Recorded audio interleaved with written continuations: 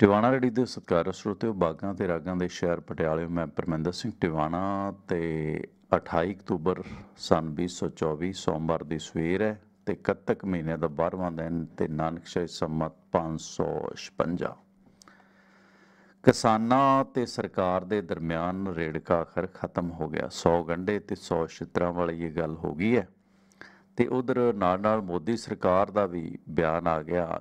ਮੰਤਰੀ ਸਾਹਿਬ ਪ੍ਰਹਲਾਦ ਜੋਸ਼ੀ ਬੜੇ ਜੋਸ਼ ਨੇ, ਕਹਿੰਦੇ ਇੱਕ ਇੱਕ ਦਾਣਾ ਚੱਕਾਂਗੇ, ਸਾਡੇ ਖਿਲਾਫ ਪ੍ਰਚਾਰ ਪਤਾ ਨਹੀਂ ਕੌਣ ਕਰਦਾ, ਸਾਡੇ ਖਿਲਾਫ ਕੂੜ ਪ੍ਰਚਾਰ ਕੀਤਾ ਜਾ ਰਿਹਾ ਹੈ। ਕੋਈ ਅਫਵਾਹ ਫੈਲਾਉਂਦਾ ਹੈ? ਹੁਣ ਪਾਕਿਸਤਾਨ ਅਫਵਾਹ ਫੈਲਾਉਂਦਾ ਹੈ ਜਾਂ ਜਸਟਨ ਟਰੂਡੋ ਫੈਲਾਉਂਦਾ ਜਾਂ ਭਾਈ ਜੋ ਬਾਈਡਨ ਫੈਲਾਉਂਦਾ ਕਿਉਂਕਿ ਅੱਜਕੱਲ ਬ੍ਰਿਕਸ ਨਾਲ ਜ਼ਿਆਦਾ ਚਰਚਾ ਹੋ ਗਈ ਹੈ ਇੰਡੀਆ ਦੀ। ਤੇ ਫਸਲਾਂ ਦੀ ਢੋ ਢੁਆਈ ਵਾਸਤੇ ਨਿਗਰਾਨੀ ਕਮੇਟੀ ਬਣੇਗੀ। ਇਸ ਸੰਬੰਧੀ ਰਵਨੀਤ ਪਿੱਟੂ ਨਵੇਂ-ਨਵੇਂ ਭਾਜਪਾਈ ਮਿਨਿਸਟਰ ਬਣੇ ਨੇ। ਉਹਨਾਂ ਨੇ ਵੀ ਐਫਸੀਆਈ ਦੇ ਅਧਿਕਾਰੀਆਂ ਨਾਲ ਗੱਲਬਾਤ ਕੀਤੀ ਹੈ ਕਿਉਂਕਿ ਐਫਸੀਆਈ ਵੱਡੀ ਸਿਲਸਿਲਾ ਹੈ। ਤੇ ਇਸ ਸਿਲਸਿਲੇ ਦੇ ਵਿੱਚ ਸਰਕਾਰ ਨੇ ਦਾਅਵਾ ਕੀਤਾ, ਅਦਿਤੀ ਟੰਡਨ ਟ੍ਰਿਬਿਊਨ ਦੇ ਜਰਨਲਿਸਟ ਨੇ ਉਹਨਾਂ ਦੇ ਨਾਲ ਮੁਲਾਕਾਤ ਦੇ ਦੌਰਾਨ, ਪਰ ਪੰਜਾਬ ਦੇ ਝੋਨੇ ਦੀ ਖਰੀਦ ਪ੍ਰਬੰਧਾਂ ਨੂੰ ਲੈ ਕੇ ਕਿਸਾਨਾਂ ਤੇ ਪੰਜਾਬ ਸਰਕਾਰ ਦੇ ਦਰਮਿਆਨ ਕੱਲ ਸਹਿਮਤੀ ਉਸ ਵਕਤ ਬਣ ਗਈ। ਤੇ ਜਿਸ ਦੌਰਾਨ ਕਿਸਾਨਾਂ ਨੇ ਪੰਜਾਬ ਭਰ ਦੇ ਵਿੱਚ ਜਿਹੜੇ ਚੱਲ ਰਹੇ ਜਾਮ ਨੇ, ਉਹ ਖੋਲਣ ਦਾ ਮਨ ਬਣਾ ਲਿਆ। ਤੇ ਵੱਡੀ ਰਾਹਤ, ਖਾਸ ਕਰਕੇ ਫਗਵਾੜਾ ਸ਼ੂਗਰ ਮਿਲ ਦੇ ਸਾਹਮਣੇ ਜਿਹੜਾ ਧਰਨਾ ਸੀ, ਉਸ ਤੋਂ ਮਿਲੀ ਹੈ। ਕਿਉਂਕਿ ਜਾਮ ਜਿਹੜੇ ਨੇ, ਕਈ ਜਗ੍ਹਾ ਲੱਗੇ ਹੋਏ ਸੀ, ਤਕਰੀਬਨ ਚਾਰ ਵੱਡੇ ਹਾਈਵੇ ਰੋਕੇ ਹੋਏ ਸੀਗੇ। ਦੂਸਰੇ ਗਰੁੱਪ ਨੇ ਵੀ, ਹਾਲਾਂਕਿ ਐਸਕੇਐਮ ਨੇ ਪਹਿਲੇ ਦਿਨ ਕੀਤਾ ਸੀ। ਤੇ ਕਿਸਾਨ ਪਰੇਸ਼ਾਨ ਨੇ, ਮੰਡੀਆਂ 'ਚ ਜਿਹੜੀਆਂ ਨੇ ਢਾਂਕਾਂ ਲੱਗੀਆਂ ਪਈਆਂ ਨੇ, ਪਹਾੜ ਬਣੇ ਪਏ ਨੇ, ਝੋਨੇ ਦੇ ਅੰਬਾਰ ਲੱਗੇ ਨੇ ਤੇ ਜਿਸ ਕਰਕੇ ਕਿਸਾਨ ਬੜਾ ਪਰੇਸ਼ਾਨ ਸੀ। ਨਾਲ ਨਾਲ ਡੀਏਪੀ ਦਾ ਮਸਲਾ ਸੀ, ਜਿਸ ਨੂੰ ਲੈ ਕੇ ਆਪਣਾ ਕੇਂਦਰੀ ਮੰਤਰੀ ਨਾਲ ਮੁਲਾਕਾਤ ਕਰਕੇ ਆਏ ਨੇ ਭਗਵੰਤ ਮਾਨ। ਪਰ ਦਿੱਲੀ ਦੇ ਗੇੜਿਆਂ ਨੇ ਮਾਨ ਪਰੇਸ਼ਾਨ ਕਰ ਰੱਖਿਆ ਤੇ ਦਿੱਲੀ ਤੋਂ ਪੰਜਾਬ ਆਏ, ਪੰਜਾਬ ਤੋਂ ਪ੍ਰਚਾਰ ਕਰਕੇ ਚੱਬੇਵਾਲ ਫਿਰ ਦਿੱਲੀ ਨੂੰ ਮੁੜ ਗਏ, ਰਾਤ ਨੂੰ ਤੇ ਆਉਂਦਿਆਂ ਹੀ ਐਲਾਨ ਕਰ ਦਿੱਤਾ ਕਿ ਭਾਈ ਮੈਂ ਪੰਜਾਬ ਦੀ ਪ੍ਰਧਾਨਗੀ ਛੱਡ ਦੇਣੀ ਹੈ। ਜਾਣੀ ਕਿ ਆਮ ਆਦਮੀ ਪਾਰਟੀ ਦੀ ਪ੍ਰਧਾਨਗੀ ਦਾ ਵਜ਼ਨ ਮਾਨ ਸਾਹਿਬ ਦੇ ਮੋਢਿਆਂ ਤੋਂ ਲੈ ਦਿੱਤਾ ਗਿਆ ਲਾ ਗਿਆ ਹੀ ਹੈ। ਨਵੇਂ ਪ੍ਰਧਾਨ ਦਾ ਸਿਰਫ ਐਲਾਨ ਬਾਕੀ ਹੈ ਤੇ ਮੰਨਿਆ ਜਾ ਰਿਹਾ ਹੈ ਕਿ ਕੋਈ ਹਿੰਦੂ ਚਿਹਰਾ ਆਮ ਆਦਮੀ ਪਾਰਟੀ ਵੱਲੋਂ ਪੰਜਾਬ ਦਾ ਪ੍ਰਧਾਨ ਬਣਾਇਆ ਜਾਏਗਾ। ਹਾਲਾਂਕਿ ਮਾਨ ਸਾਹਿਬ ਕਹਿ ਰਹੇ ਨੇ ਕਿ ਭਾਈ ਸਭ ਨੂੰ ਮੌਕਾ ਮਿਲਣਾ ਚਾਹੀਦਾ ਫਿਰ ਤੇ ਮਾਨ ਸਾਹਿਬ ਤਿੰਨ ਕੁ ਸਾਲ ਹੋ ਗਏ ਨੇ, ਹੁਣ ਮੌਕਾ ਹੋਰ ਨੂੰ ਦੇ ਦਿਓ। ਮੁੱਖ ਮੰਤਰੀ ਦਾ ਤੁਸੀਂ ਕਹਿੰਦੇ ਸੀ ਕਿ 3 ਕਰੋੜ ਪੰਜਾਬੀ ਮੁੱਖ ਮੰਤਰੀ ਨੇ। ਸੰਧਵਾ ਸਾਹਿਬ ਦਾ ਵੀ ਤੇ ਅਹ, ਮੀਤ ਹੇਅਰ ਤਾਂ ਚਲੋ ਹੁਣ ਤੁਸੀਂ ਉੱਥੇ ਭੇਜ ਦਿੱਤਾ ਨਾਲ ਡੇਂਗੂ ਹੋ ਗਿਆ ਮੀਤ ਹੇਅਰ ਨੂੰ ਤੇ ਨਾਲ ਘਰੇ ਉਹਦੇ ਜਿਹੜੇ ਟੀਚਰ ਮੁਜ਼ਾਹਰਾ ਕਰਨ ਆਏ ਨੇ ਤਨਖਾਹਾਂ ਜਾਂ ਹੋਰ ਮਾਮਲਿਆਂ ਨੂੰ ਲੈ ਕੇ ਉਹਨਾਂ ਤੇ ਡਾਂਗ ਫਰਵਾ ਦਿੱਤੀ ਹੈ। ਤੇ ਮਨ ਤਾਂ ਮੀਤ ਹੇਅਰ ਦਾ ਵੀ ਕਰਦਾ ਸੀ ਮੁੱਖ ਮੰਤਰੀ ਬਣਨ ਨੂੰ ਤੇ ਮਨ ਵਿੱਤ ਮੰਤਰੀ ਚੀਮਾ ਸਾਹਿਬ ਦਾ ਵੀ ਕਰਦਾ, ਉਹਨਾਂ ਦੇ ਮਨ ਦੀਆਂ ਕੌਣ ਸੁਣੇਗਾ। ਪਰ ਮਾਨ ਸਾਹਿਬ ਕਹਿੰਦੇ, ਮੈਂ ਆਪਣੇ ਮਨ ਦੀ ਸੁਣੀ ਹੈ ਜਿਸ ਕਰਕੇ ਆਮ ਆਦਮੀ ਪਾਰਟੀ ਦੀ ਮੈਂ ਪ੍ਰਧਾਨਗੀ ਛੱਡ ਰਿਹਾ। ਕਿਸੇ ਵੇਲੇ ਵੀ ਨਵੇਂ ਪ੍ਰਧਾਨ ਦਾ ਐਲਾਨ ਹੋ ਸਕਦਾ ਹੈ ਚਰਨਜੀਤ ਭੁੱਲਰ ਦੀ ਰਿਪੋਰਟ ਹੈ ਕਿ ਕਿਸੇ ਵਕਤ ਪ੍ਰਕਾਸ਼ ਸਿੰਘ ਬਾਦਲ ਨੇ ਵੀ ਮੁੱਖ ਮੰਤਰੀ ਰਹਿੰਦੇ ਪ੍ਰਧਾਨਗੀ ਛੱਡੀ ਸੀ। 2008 ਦੇ ਵਿੱਚ ਤੇ ਕਿ ਉਹਨਾਂ ਕੋਲ ਬਥੇਰੀਆਂ ਜ਼ਿੰਮੇਵਾਰੀਆਂ ਨੇ, ਇਸ ਕਰਕੇ ਸ਼੍ਰੋਮਣੀ ਅਕਾਲੀ ਦਲ ਦੀ ਪ੍ਰਧਾਨਗੀ ਦਾ ਅਹੁਦਾ ਛੱਡਣਾ ਚਾਹੁੰਦੇ ਨੇ। ਉਸ ਸਮੇਂ ਸੁਖਬੀਰ ਬਾਦਲ ਨੂੰ ਪ੍ਰਧਾਨ ਬਣਾਇਆ ਗਿਆ ਸੀ। ਵੱਡੇ ਬਾਦਲ ਨੇ ਆਪਣੇ ਪੁੱਤਰ ਨੂੰ ਪ੍ਰਧਾਨ ਬਣਾਉਣ ਦੀ ਮਕਸਦ ਦੇ ਨਾਲ ਇਹ ਕੁਝ ਕੀਤਾ ਸੀ। 1999 ਦੇ ਵਿੱਚ ਜਦੋਂ ਟੋੜਾ ਸਾਹਿਬ ਨੇ ਸਲਾਹ ਦਿੱਤੀ ਸੀ ਕਿ ਬਾਦਲ ਸਾਹਿਬ ਮੁੱਖ ਮੰਤਰੀ ਦੇ ਕੰਮ ਜ਼ਿਆਦਾ ਨੇ, ਪ੍ਰਧਾਨਗੀ ਛੱਡ ਦਿਓ, ਤਾਂ ਰਫੜ ਪੈ ਗਿਆ ਸੀ। ਟੋੜਾ ਸਾਹਿਬ ਨੂੰ ਵੀ ਬਾਹਰ ਕਰ ਦਿੱਤਾ ਸੀ। ਨਤੀਜੇ ਵਜੋਂ ਸਰਬ ਹਿੰਦ ਅਕਾਲੀ ਦਲ ਹੋਣ ਚ ਆਇਆ ਸੀ, ਪਰ ਬਾਅਦ ਦੇ ਵਿੱਚ ਫਿਰ ਆਪ ਹੀ ਛੱਡ ਦਿੱਤਾ। ਇਸ ਸਿਲਸਿਲੇ ਵਿੱਚ ਹੁਣ ਮਾਨ ਸਾਹਿਬ ਕਿਸ ਮਕਸਦ ਲਈ ਪ੍ਰਧਾਨਗੀ ਛੱਡ ਰਹੇ ਨੇ? ਇਹ ਤਾਂ ਗੱਲ ਕਲੀਅਰ ਹੈ ਕਿ ਮਾਨ ਸਾਹਿਬ ਪੰਜਾਬ ਦੇ ਕੰਮਾਂ ਕਾਰਾਂ ਦੇ ਸਿਲਸਿਲੇ ਵਿੱਚ ਭਾਜਪਾ ਪ੍ਰਧਾਨ ਜੇਪੀ ਨੱਡਾ ਨੂੰ ਮਿਲਣ ਗਏ ਸੀ ਤੇ ਵਾਪਸੀ ਸਿੱਧੇ ਚੱਬੇਵਾਲ ਆਏ, ਜਿਮਨੀ ਚੋਣ 'ਚ ਪ੍ਰਚਾਰ ਕਰਨ ਅਤੇ ਉਸ ਤੋਂ ਬਾਅਦ ਫਿਰ ਦਿੱਲੀ ਗਏ। ਤੇ ਚੋਣ ਰੈਲੀਆਂ ਨੂੰ ਸੰਬੋਧਨ ਕਰਨ ਮਗਰੋਂ ਉਹ ਦਿੱਲੀ ਗਿਆ ਡੇਰਾ ਬਾਬਾ ਨਾਨਕ ਤੇ ਚੱਬੇਵਾਲ ਦੋ ਚੋਣ ਰੈਲੀਆਂ ਕਵਰ ਕਰਕੇ ਤੇ ਮੁੱਖ ਮੰਤਰੀ ਨੇ ਪ੍ਰਧਾਨਗੀ ਛੱਡਣ ਦਾ ਐਲਾਨ ਹਾਈ ਕਮਾਂਡ ਕੋਲ ਕਰ ਦਿੱਤਾ ਤੇ ਚਰਚਾ ਛਿੜੀ ਸੀ ਕਿ ਨਵਾਂ ਚਿਹਰਾ ਕੋਈ ਹਿੰਦੂ ਚਿਹਰਾ ਪੰਜਾਬ 'ਚ ਬਣਾਇਆ ਜਾ ਸਕਦਾ ਹੈ, ਕਿਉਂਕਿ ਮੁੱਖ ਮੰਤਰੀ ਦੀਆਂ ਜ਼ਿੰਮੇਵਾਰੀਆਂ ਨਾਲ ਉਹਨਾਂ ਦੇ ਮੋਢੇ ਆ ਜਿਹੜੇ ਝੁੱਕ ਗਏ ਨੇ। ਇੱਕ ਤੇ ਉਹ ਝੱਗੀ ਦਾ ਭਾਰ ਵੀ ਹੈਗਾ, ਮਾਨ ਸਾਹਿਬ ਗਰਮੀ 'ਚ ਤਾਂ ਲਾ ਲਿਆ ਕਰੋ ਵੀਰ, ਅਸੀਂ ਤਾਂ ਪੱਤਰਕਾਰਾਂ ਅਸੀਂ ਨਹੀਂ ਪਾਉਂਦੇ, ਕਹਿਣ ਨੂੰ ਤਾਂ ਪ੍ਰੋਟੋਕੋਲ ਆ ਕਿ ਭਾਈ ਟੀਵੀ ਹੋਸਟ ਦੀ ਸ਼ਨਾਖਤ ਝੱਗੀ ਤੋਂ ਹੋ ਜਾਂਦੀ ਹੈ। ਪਾ ਲੈਣੀ ਚਾਹੀਦੀ ਹੈ, ਪਰ ਕਿਹੜਾ ਪਾਵੇ ਯਾਰ, ਗਰਮੀ 'ਚ ਕਿੰਨੇ ਕੇਸੀ ਕੰਮ ਕਰਦੇ ਨੇ, ਭੈੜਾ ਜਿਹਾ ਲੱਗਦਾ, ਹੈਨਾ? ਲੋਕੀ ਤੇ ਕਹਿੰਦੇ ਨੇ ਆ ਜਿਹੜੀ ਫੋਟੋ ਲੱਗੀ ਹੈ, ਇਹਦੇ ਤੋਂ ਵੀ ਝੱਗੀ ਲਾਓ, ਹੈਨਾ? ਸੱਚੀ ਮੁੱਚੀ ਪਾ ਕੇ ਫਿਰਦਾ ਨਾ, ਬੰਦਾ ਜ਼ਿਆਦਾ ਹੀ ਐਲੀਟ ਲੱਗਦਾ ਹੈ ਹੈਨਾ? ਅਗਲਾ ਕਹਿੰਦਾ, ਯਾਰ ਇਹਨੂੰ ਜ਼ਿਆਦਾ ਹੀ ਕੱਕਰ ਖਾਂਦਾ ਹੁਣ ਕੈਪਟਨ ਸਾਹਿਬ ਦੇਖ ਲਓ 2 ਸਾਲ ਬਾਅਦ ਦਰਸ਼ਨ ਉਹਨਾਂ ਨੇ ਦਿੱਤੇ, ਖੰਨਾ ਮੰਡੀ 'ਚ ਭਾਜਪਾਈਆਂ ਦੇ ਨਾਲ ਆਏ, ਦਾਣਾ ਚੈੱਕ ਕਰਨ। ਤੇ ਝੱਗੀ ਉਹਨਾਂ ਨੇ ਵੀ ਉਹੀ ਪਾਈ ਹੈ। ਸੋਹਣੀ ਬੜੀ ਲੱਗਦੀ ਹੈ। ਵੈਸੇ ਪਤਲੇ ਬੰਦੇ ਦੇ ਤਾਂ ਜੱਜ ਜਾਂਦਾ, ਚਲੋ ਸਰੀਰ ਕੱਜਿਆ ਜਾਂਦਾ ਸਿਮਰਜੀਤ ਮਾਨ ਵਾਂਗੂ। ਤੇ ਪਰ ਮੋਟੇ ਬੰਦੇ ਨੂੰ ਤਾਂ ਨਹੀਂ ਪਾਉਣੀ ਚਾਹੀਦੀ। ਹਾਂ, ਬੁਲਟ ਪ੍ਰੂਫ ਹੋਵੇ ਚਲੋ ਮਜਬੂਰੀ ਹੈ, ਕਿਉਂਕਿ ਬੁਲਟ ਪਤਾ ਨਹੀਂ ਕਿਹੜੇ ਪਾਸਿਓਂ ਆ ਜਾਏਗੀ। ਤੇ ਇਸ ਦੌਰਾਨ ਹਿੰਦੂ ਚਿਹਰੇ ਦੀ ਚਰਚਾ ਚੱਲਦੀ ਹੈ ਤੇ ਕਿਹੜਾ ਚਿਹਰਾ ਬਣਾਇਆ ਜਾ ਸਕਦਾ ਇਸ ਸੰਬੰਧੀ ਕਿਆਸ ਰਾਈਆਂ ਵੀ ਨੇ। ਕਿਤੇ ਨਾ ਕਿਤੇ ਜਿਵੇਂ ਪੰਜਾਬ ਦੇ ਵਿੱਚ ਹਿੰਦੂ ਵੋਟ ਵਰਗ ਹੈ ਪਹਿਲਾਂ ਐਸਸੀ ਐਸਟੀ ਵੋਟ ਵਰਗ ਦੇ ਮੱਦੇਨਜ਼ਰ ਸੁਖਪਾਲ ਸਿੰਘ ਖਹਿਰਾ ਨੂੰ ਲਾਂਭੇ ਕਰਕੇ ਵਿੱਤ ਮੰਤਰੀ ਚੀਮਾ ਸਾਹਿਬ ਨੂੰ ਅ, ਇਹ ਐਲਓਪੀ ਬਣਾਇਆ ਗਿਆ ਸੀਗਾ। ਪਰ ਹੁਣ ਕਿਉਂਕਿ ਹਿੰਦੂ ਵੋਟ ਤੇ ਕਨਸੈਂਟਰੇਟ ਕਰਨਾ ਸੋ ਜਿਸ ਸਿਲਸਿਲੇ ਵਿੱਚ ਇਹ ਗਿਣਤੀ ਮਿਣਤੀ ਹੈ ਕਿ ਹਿੰਦੂ ਜਾਂ ਦਲਿਤ ਚਿਹਰੇ ਨੂੰ ਮੌਕਾ ਦਿੱਤਾ ਜਾਵੇ ਉਂਝ ਅਮਨ ਅਰੋੜਾ ਦਾ ਨਾਮ ਪ੍ਰਧਾਨਗੀ ਲਈ ਵਿਚਾਰਿਆ ਜਾ ਰਿਹਾ ਤੇ 7 ਵਰੇ ਪਹਿਲਾਂ ਆਮ ਆਦਮੀ ਪਾਰਟੀ ਪੰਜਾਬ ਦੇ ਪ੍ਰਧਾਨ ਭਗਵੰਤ ਮਾਨ ਬਣੇ ਸੀ ਤੇ ਉਹਨਾਂ ਦੀ ਅਗਵਾਈ ਦੇ ਹੇਠ ਹੀ ਪੰਜਾਬ ਦੀ ਪ੍ਰਧਾਨਗੀ ਕਰਦਿਆਂ ਉਹ ਮੁੱਖ ਮੰਤਰੀ ਬਣੇ ਸੀ ਤੇ ਆਪਣੀ ਸਰਕਾਰ ਬਣਾਈ ਸੀ। ਹੁਣ ਗੱਲ ਕੀ ਇਹ ਹੈ ਕਿ ਜੇ ਪੰਜਾਬ ਦੇ ਵਿੱਚ ਹਿੰਦੂ ਚਿਹਰਾ ਬਣ ਜਾਏਗਾ ਤੇ ਆਮ ਹਿੰਦੂ ਨੂੰ ਕੀ ਫਾਇਦਾ ਹੈ? ਬਥੇਰੇ ਜੱਟ ਸੀਐਮ ਰਹੇ ਨੇ, ਜੱਟਾਂ ਨੂੰ ਕਿੰਨਾ ਕੁ ਫਾਇਦਾ ਹੋ ਗਿਆ? ਪਰ ਇੱਕ ਰੰਜ ਜ਼ਰੂਰ ਹੈ ਕਿ ਯਾਰ ਸਾਰੀ ਲਾਣੇਦਾਰੀ ਜੱਟਾਂ ਕੋਲ ਹੀ ਕਿਉਂ? ਕਿਉਂਕਿ ਪੱਤਰਕਾਰਾਂ ਨੂੰ ਵੀ ਰੰਜ ਹੈ, ਜਿਹੜੇ ਗੈਰ ਜੱਟ ਪੱਤਰਕਾਰ ਨੇ। ਉੱਥੇ ਕਿਤੇ ਨਾ ਕਿਤੇ ਉਸ ਹਉਮੈ ਨੂੰ ਪੱਠੇ ਪੈ ਜਾਂਦੇ ਨੇ ਤੇ ਉੱਥੇ ਕਿਤੇ ਨਾ ਕਿਤੇ ਫਿਰ ਕਿਉਂਕਿ ਜਦੋਂ ਚੰਨੀ ਸੀਐਮ ਬਣੇ ਨੇ ਤੇ ਉਦੋਂ ਲੋਕਾਂ ਨੂੰ ਬੜਾ ਚਾਅ ਸੀ ਕਿ ਯਾਰ ਗੈਰ ਜੱਟ ਸੀਐਮ ਬਣਿਆ। ਸੋ ਇਹ ਸਿਲਸਿਲਾ ਕਿਤੇ ਨਾ ਕਿਤੇ ਥੋੜਾ ਬਹੁਤਾ ਕੈਸ਼ ਵੀ ਹੁੰਦਾ। ਬਾਕੀ ਇਸ ਤੇ ਆਪਾਂ ਅੱਗੇ ਚੱਲ ਕੇ ਗੱਲ ਕਰਾਂਗੇ। ਤੇ ਝੋਨੇ ਦਾ ਜਿਹੜਾ ਰੇੜਕਾ, ਉਸ ਮੁਤਲਕ ਪ੍ਰਹਲਾਦ ਜੋਸ਼ੀ ਨੇ ਦਾਣਾ ਦਾਣਾ ਚੱਕਣ ਦਾ ਭਰੋਸਾ ਦਿੱਤਾ ਹੈ। ਤੇ ਇਹ ਗੱਲ ਉਹਨਾਂ ਨੇ ਉਦੋਂ ਕਹੀ ਹੈ ਜਦੋਂ ਪੰਜਾਬ ਦੇ ਕਿਸਾਨ ਝੋਨੇ ਤੇ ਹੋਰ ਮੰਗਾਂ ਨੂੰ ਲੈ ਕੇ ਪ੍ਰਦਰਸ਼ਨ ਤੇ ਲਗਾਤਾਰ ਡਟੇ ਹੋਏ ਨੇ। ਪ੍ਰਹਲਾਦ ਜੋਸ਼ੀ ਨੇ ਦਿੱਲੀ ਦੇ ਵਿੱਚ ਪੱਤਰਕਾਰਾਂ ਨਾਲ ਗੱਲਬਾਤ ਕਰਦਿਆਂ ਆਖਿਆ ਕਿ ਮੋਦੀ ਸਰਕਾਰ ਦੀ ਪਹਿਲੀ ਤਰਜੀਹ ਕਿਸਾਨ ਨੇ।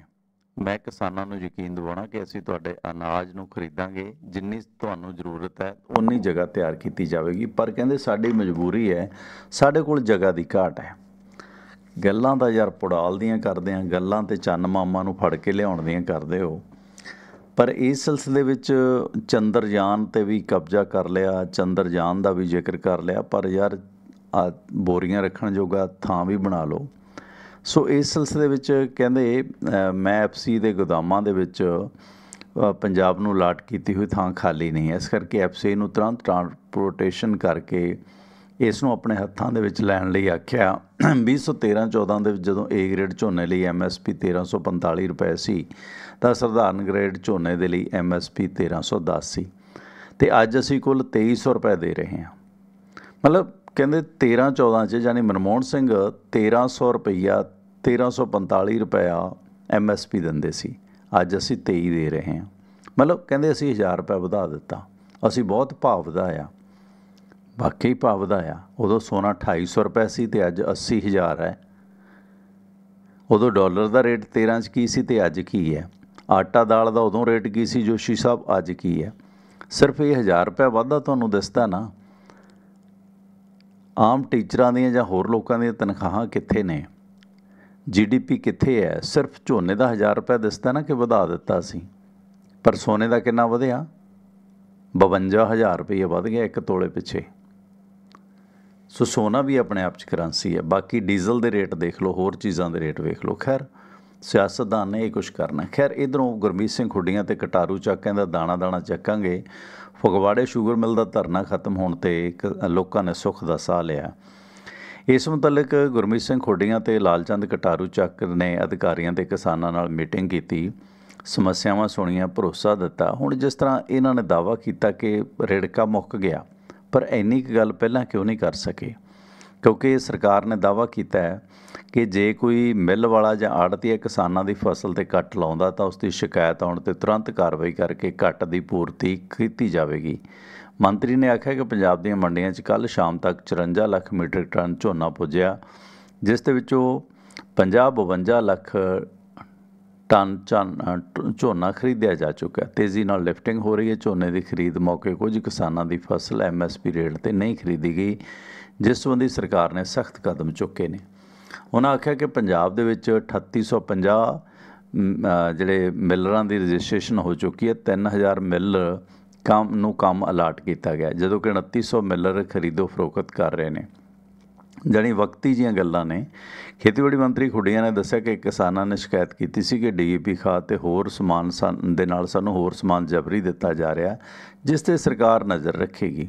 ਇਸ ਮੌਕੇ ਸਰਵਣ ਸਿੰਘ ਪੰਧੇਰ ਤੇ ਭਾਰਤੀ ਕਿਸਾਨ- ਕਿਸਾਨ ਯੂਨੀਅਨ ਦੁਆਬਾ ਦੇ ਮਨਜੀਤ ਸਿੰਘ ਰਾਏ, ਇਹ ਲੋਕ ਹਾਜ਼ਰ ਸਨ ਤੇ ਜਿਸ ਸਿਲਸਿਲੇ ਦੇ ਵਿੱਚ ਇਹ, ਇਹਨਾਂ ਦੀ ਹਾਜ਼ਰੀ ਦੇ ਵਿੱਚ ਇਹ ਮੰਗਾ ਮੰਨਣ ਦਾ ਭਰੋਸਾ ਦੇ ਦਿੱਤਾ। ਹੈ ਤੇ ਸਕੱਤਰ ਸਤਨਾਮ ਸਿੰਘ ਸਾਨੀ ਸੁਰਜੀਤ ਸਿੰਘ ਫੂਲ, ਸਤਨਾਮ ਸਿੰਘ ਵੈਰੂ, ਵਰਿੰਦਰ ਸਿੰਘ ਭੰਗੂਏ ਲੋਕ ਹਾਜ਼ਰ ਸਨ। ਮੰਤਰੀ ਵੱਲੋਂ ਦਿੱਤੇ ਭਰੋਸਿਆਂ ਤੋਂ ਬਾਅਦ ਕਿਸਾਨਾਂ ਨੇ ਸਹਿਮਤੀ ਪ੍ਰਗਟਾਈ ਹੈ ਕਿ ਮੋਰਚਿਆਂ ਤੇ ਜਾਮ ਨਹੀਂ ਲਗਾਇਆ ਜਾਵੇਗਾ, ਧਰਨਿਆਂ ਦਾ ਕੰਮ ਸਿਰਫ ਇਸ ਕਰਕੇ ਜਾਰੀ ਰੱਖਿਆ ਜਾਵੇਗਾ ਕਿ ਜੇ ਸਰਕਾਰ ਨੇ ਵਾਅਦੇ ਪੂਰੇ ਨਾ ਕੀਤੇ ਤਾਂ ਧਰਨਿਆਂ ਨੂੰ ਵੱਡਾ ਰੂਪ ਦਿੱਤਾ ਜਾਏਗਾ, ਜਾਣੀ ਰੇੜਕਾ ਅਜੇ ਬਰਕਰਾਰ ਹੈ।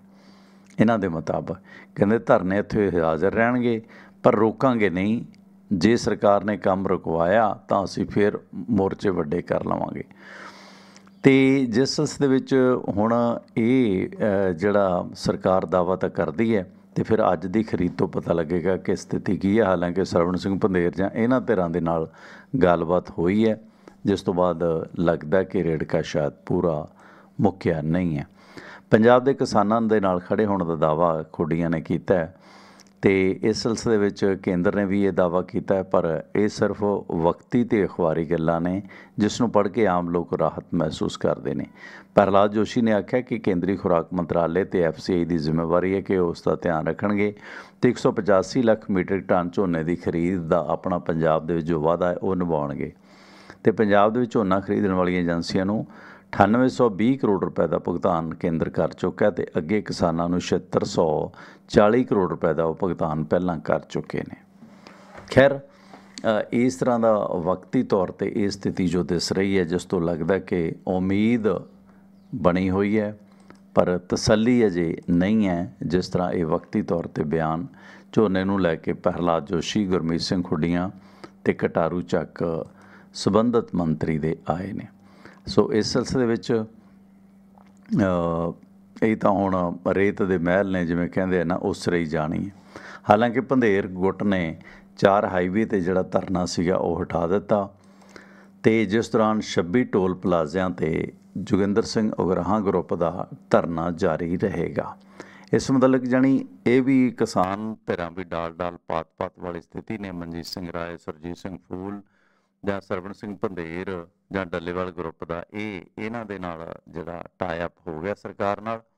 ਪਰ ਬਾਕੀ 25 ਭਾਜਪਾਈਆਂ ਤੇ ਆਮ ਆਦਮੀ ਪਾਰਟੀ ਦੇ ਨੇਤਾਵਾਂ ਦੇ ਘਰਾਂ ਦੇ ਮੂਹਰੇ ਧਰਨੇ ਤੇ 25 26 ਦੇ ਕਰੀਬ ਟੋਲ ਪਲਾਜ਼ੇ ਨੇ ਜਿਹੜੇ ਉਹ ਬੰਦ ਰਹਿਣਗੇ, ਅਗਰ ਹਾਂ ਯੂਨੀਅਨ ਉਸ ਤੇ ਅੜੀ ਹੋਈ ਹੈ। ਝੋਨੇ ਦੀ ਖਰੀਦ ਮੱਧਮ ਹੈ, ਲਿਫਟ, ਲਿਫਟਿੰਗ ਠੱਪ ਹੈ, ਸੋ ਦੋ ਮੰਤਰੀਆਂ ਨੇ ਇਸ ਸੰਬੰਧੀ 2 ਘੰਟੇ ਕਿਸਾਨਾਂ ਦੇ ਨਾਲ ਬੈਠੇ ਕਰਕੇ ਇਸ ਨੂੰ ਸਮਝਾਉਣ ਦੀ, ਸੁਲਝਾਉਣ ਦੀ ਕੋਸ਼ਿਸ਼ ਤਾਂ ਕੀਤੀ ਹੈ। ਗੈਰ ਰਾਜਨੀਤਿਕ ਵਾਲਿਆਂ ਨਾਲ ਪੰਧੇਰ ਗਰੁੱਪ ਦੇ ਨਾਲ, ਕਿਸਾਨ ਮਜ਼ਦੂਰ ਮੋਰਚੇ ਦੇ ਨਾਲ। ਪਰ ਇਸ ਸੰਬੰਧੀ ਕਿਸਾਨ ਮਜ਼ਦੂਰ ਮੋਰਚਾ ਤੇ ਖਾਸ ਕਰਕੇ ਉਗਰਾਹਾਂ ਗਰੁੱਪ ਵੱਲੋਂ ਜਿਹੜਾ ਸੰਗਰੂਰ ਜਾਂ ਹੋਰ ਜਿਹੜੇ ਟੋਲ ਪਲਾਜ਼ੇ ਨੇ, ਉਹ ਬੰਦ ਰਹਿਣਗੇ। ਪਰ ਸਰਵਣ ਸਿੰਘ ਪੰਧੇਰ ਹੋਰਾਂ ਦਾ ਸੰਯੁਕਤ ਕਿਸਾਨ ਮੋਰਚਾ, ਗੈਰ ਰਾਜਨੀਤਿਕ ਤੇ ਕਿਸਾਨ ਮਜ਼ਦੂਰ ਸੰਘਰਸ਼ ਕਮੇਟੀ ਪੰਧੇਰ ਹੋਣਾ ਵਾਲੀ, ਇਹਨਾਂ ਨੇ ਪੰਜ ਜ਼ਿਲ੍ਹੇ ਸੰਗਰੂਰ ਦੇ ਬਡਰੁੱਖਾਂ, ਮੋਗਾ ਦੇ ਡਬਰੂ, ਜਿੱਥੇ ਸਾਇਲੋ ਅਤੇ ਕਪੂਰਥਲਾ ਦੇ ਫਗਵਾੜਾ, ਗੁਰਦਾਸਪੁਰ ਦੇ ਸਟਿਆਲੀ ਤੇ ਬਠਿੰਡਾ ਦੇ ਜੱਸੀ ਚੌਕ ਦੇ ਵਿੱਚ ਇਹ ਧਰਨਾ ਹਟਾ ਦਿੱਤਾ ਗਿਆ। ਇਹਨਾਂ ਫੋਰਮਾਂ ਨੇ ਫੈਸਲਾ ਕੀਤਾ ਫੂਡ ਸਪਲਾਈ ਮੰਤਰੀ ਕਟਾਰੂ ਚੱਕ ਅਤੇ ਗੁਰਮੀਤ ਸਿੰਘ ਖੋਡੂਆਂ ਦੇ ਨਾਲ ਬੈਠਕ 2 ਘੰਟੇ ਦੀ ਕਰਨ ਤੋਂ ਬਾਅਦ ਕਿ ਅਸੀਂ ਤੁਹਾਡੇ ਭਰੋਸੇ ਇਸ ਨੂੰ ਫਿਲਹਾਲ ਪੋਸਟਪੋਨ ਕਰ ਦਿੰਦੇ ਹਾਂ। ਧਰਨੇ ਦਾ ਵਜੂਦ ਕਾਇਮ ਰਹੇਗਾ, ਪਰ ਜੇ ਸਰਕਾਰ ਪੂਰੀ ਨਾ ਉਤਰੀ ਤਾਂ ਅਸੀਂ ਫੇਰ ਧਰਨਾ ਲਾ ਦੇਣਾ। ਤੇ ਸੰਕੇਤਕ ਤੌਰ ਤੇ ਸੰਘਰਸ਼ ਕ- ਕਿਸਾਨ ਸੰਘਰਸ਼ ਕਮੇਟੀ ਦੇ ਜਾਂ ਇਹਨਾਂ ਪੰਧੇਰ ਧੜੇ ਦੇ ਜਿਹੜੇ ਨੇਤਾ ਨੇ ਉੱਥੇ ਹਾਜ਼ਰ ਰਹਿਣਗੇ।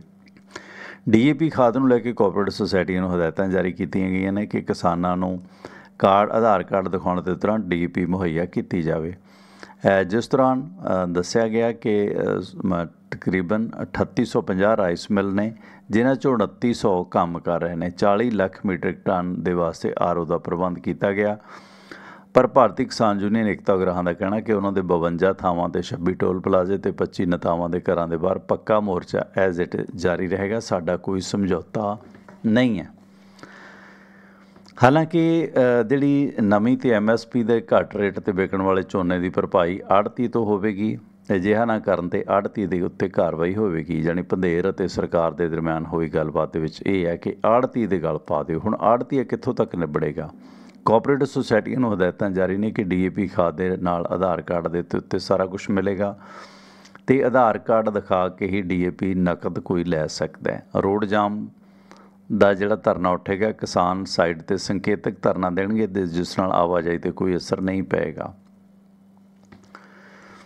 ਤੇ ਲੋਕਾਂ ਦੀ ਪਰੇਸ਼ਾਨੀ ਦੇ ਮੱਦੇਨਜ਼ਰ ਸਰਵਣ ਸਿੰਘ ਪੰਧੇਰ ਕਹਿੰਦੇ, ਇਹ ਫੈਸਲਾ ਲਿਆ ਗਿਆ। ਜਾਣੀ ਵਕਤੀ ਤੌਰ ਤੇ ਨਿਕਲਦਾ, ਇਸ ਦੇ ਵਿੱਚੋਂ ਕੁਝ ਨਹੀਂ ਹੈ, ਜਿਸ ਤਰ੍ਹਾਂ ਦੀ ਸਥਿਤੀ ਹੈ।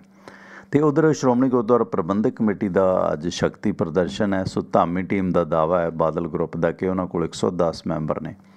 ਜਿਸ ਤਰ੍ਹਾਂ ਸ਼ਕਤੀ ਪ੍ਰਦਰਸ਼ਨ ਦੇ ਵਿੱਚ ਜੁਟੇ ਸੁਖਬੀਰ ਬਾਦਲ ਸਮਰਥਕ ਧਾਮੀ ਤੇ ਬਾਗੀ ਗੁੱਟ ਦੇ ਵੱਲੋਂ ਬੀਬੀ ਜਗੀਰ ਕੌਰ ਉਮੀਦਵਾਰ ਨੇ। ਇਸ ਸੰਬੰਧੀ ਤੇਜਾ ਸਿੰਘ ਸਮੁੰਦਰੀ ਹਾਲ ਦੇ ਵਿੱਚ ਅੱਜ ਸਾਰਾ ਪੰਥ ਰਿੜਕਿਆ ਜਾਣਾ। ਜਿਸ ਸਿਲਸਿਲੇ ਵਿੱਚ ਜਿਹੜਾ ਹਰਜਿੰਦਰ ਸਿੰਘ ਧਾਮੀ ਤੇ ਬੀਬੀ ਜਗੀਰ ਕੌਰ ਚੌਥੀ ਵਾਰ ਐਸਜੀਪੀਸੀ ਦੀ ਪ੍ਰਧਾਨਗੀ ਦੇ ਲਈ ਆਮੋ ਸਾਹਮਣੇ ਨੇ।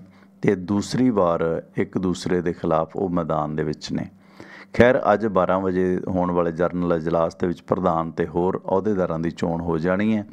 11 ਮੈਂਬਰੀ ਕਾਰਜਕਾਰਨੀ ਕਮੇਟੀ ਚੁਣੀ ਜਾਣੀ ਹੈ। ਬੀਬੀ ਜਗੀਰ ਕੌਰ 1999 2004 2020 ਦੇ ਵਿੱਚ ਚੋਣ ਲੜ ਕੇ ਜਿੱਤੇ ਸੀ। ਇਸ ਤੋਂ ਬਾਅਦ 21 ਦੇ ਵਿੱਚ ਉਹਨਾਂ ਦੀ ਜਗ੍ਹਾ ਐਡਵੋਕੇਟ ਹਰਜਿੰਦਰ ਸਿੰਘ ਧਾਮੀ ਮੈਦਾਨ ਦੇ ਵਿੱਚ ਉਤਾਰੇ ਸਨ ਤੇ ਉਹ ਜਿੱਤ ਗਏ ਸਨ। ਇਸ ਸੰਬੰਧੀ ਧਾਮੀ ਧੜੇ ਦੇ ਕੋਲ 110 ਦੇ ਕਰੀਬ ਮੈਂਬਰ ਦੱਸੇ ਜਾ ਰਹੇ ਨੇ। ਇਹ ਹੋ ਸਕਦਾ ਕਿ ਸ਼ਾਇਦ ਬੀਬੀ ਜਗੀਰ ਕੌਰ ਹੋਰਾਂ ਦੀਆਂ ਵੋਟਾਂ ਪਹਿਲਾਂ ਦੇ ਨਾਲੋਂ ਵੱਧ ਜਾਣ, ਪਰ ਜਿੱਤਣਾ ਉਹਨਾਂ ਦਾ ਮੁਸ਼ਕਲ ਹੈ, ਕਿਉਂਕਿ ਭਾਵੇਂ ਤਨਖਾਹੀਆ ਸੁਖਬੀਰ ਬਾਦਲ ਨੂੰ ਕਰਾ ਰਿਹਾ ਹੋਇਆ, ਪਰ ਬਹੁਤੀਆਂ ਧਿਰਾਂ ਉਹਨਾਂ ਦੇ ਨਾਲ ਨੇ, ਜਿਸ ਤਰ੍ਹਾਂ ਦੀ ਸਥਿਤੀ ਬਣ ਰਹੀ ਹੈ। ਸੋ ਜਿੱਤ ਹਾਰ ਦਾ ਫੈਸਲਾ ਅੱਜ ਹੋ ਜਾਣਾ, ਦੀਵੇ ਜਗ ਜਾਣੇ ਨੇ ਇੱਕ ਪਾਸੇ ਤੇ ਦੂਸਰੇ ਪਾਸੇ ਦਿਲਗੀਰੀ ਹੋਣੀ ਹੈ। ਸਮੇਂ ਦਾ ਸੱਚ ਹੈ, ਵੈਸੇ ਵੀ ਫੈਸਟੀਵਲ ਦੀਵਾਲੀ ਦਾ ਦੀਵਾਲੀ ਦੇ ਮੌਕੇ ਗਿਨੀਜ਼ ਬੁੱਕ ਵਰਲਡ ਰਿਕਾਰਡ ਬਣਾਉਣ ਦੇ ਲਈ ਅਯੁੱਧਿਆ ਤਿਆਰ ਹੈ ਤੇ ਇਸ ਵਾਰੀ 30 ਅਕਤੂਬਰ ਨੂੰ ਜਾਣ ਕੇ ਰੂਪ 14 ਨੂੰ ਸਰਈਓ ਨਦੀ ਦੀ ਰਾਮ ਪੈੜੀ ਤੇ 25 ਲੱਖ ਦੀਵੇ ਰੋਸ਼ਨ ਹੋਣਗੇ ਤੇ ਪਿਛਲੇ ਸਾਲ 21 ਲੱਖ ਲੱਗੇ ਸੀ, ਜਾਣੀ 4 ਲੱਖ ਦੀਵਾ ਵੱਧ ਜਾਗੇਗਾ ਅਯੁੱਧਿਆ ਆਪਣਾ ਰਿਕਾਰਡ ਤੋੜੇਗੀ ਤੇ 32000 ਵਲੰਟੀਅਰ ਇਸ ਦੇ ਲਈ ਸ਼ਰਾਉ ਘੱਟ ਤੇ ਤੇਲ ਤੇ ਬੱਤੀਆਂ ਦੀਵੇ ਚੁੰਗੜੇ ਲੈ ਕੇ ਪਹੁੰਚ ਗਏ ਨੇ ਤੇ 28 ਲੱਖ ਦੀਵੇ ਲਗਾਤਾਰ ਲਗਾਉਣੇ ਸ਼ੁਰੂ ਕਰ ਦਿੱਤੇ ਨੇ ਤਾਂ ਕਿ 25 ਲੱਖ ਦੀਵੇ ਜਲਦੇ ਰਹਿਣ। ਕਿਉਂਕਿ 3 ਲੱਖ ਦੀਵਾ ਹਵਾ ਨਾਲ ਵੱਧ ਜਾਂਦਾ ਹੈ। ਬੁੱਝ ਜਾਂਦਾ ਹੈ। ਜਿਹਨੂੰ ਕਹਿੰਦੇ ਨੇ ਵੱਧ ਜਾਂਦਾ ਜਿਵੇਂ ਦੁਕਾਨ ਵੱਧ ਜਾਂਦੀ ਹੈ ਬੁੱਝਣ ਨੂੰ, ਬੰਦ ਕਰਨ ਨੂੰ।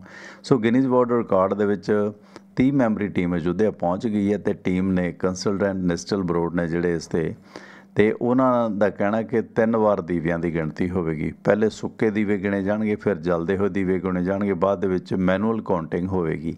ਇਸ ਤੋਂ ਬਾਅਦ ਡਰੋਨ ਦੀ ਜਿਹੜੇ ਵੀਡੀਓ ਬਣਾ ਕੇ ਆਰਟੀਫੀਸ਼ੀਅਲ ਇੰਟੈਲੀਜੈਂਸ ਦੇ ਸੌਫਟਵੇਅਰ ਦੇ ਨਾਲ ਅੰਤਮ ਗਿਣਤੀ ਕੀਤੀ ਜਾਵੇਗੀ।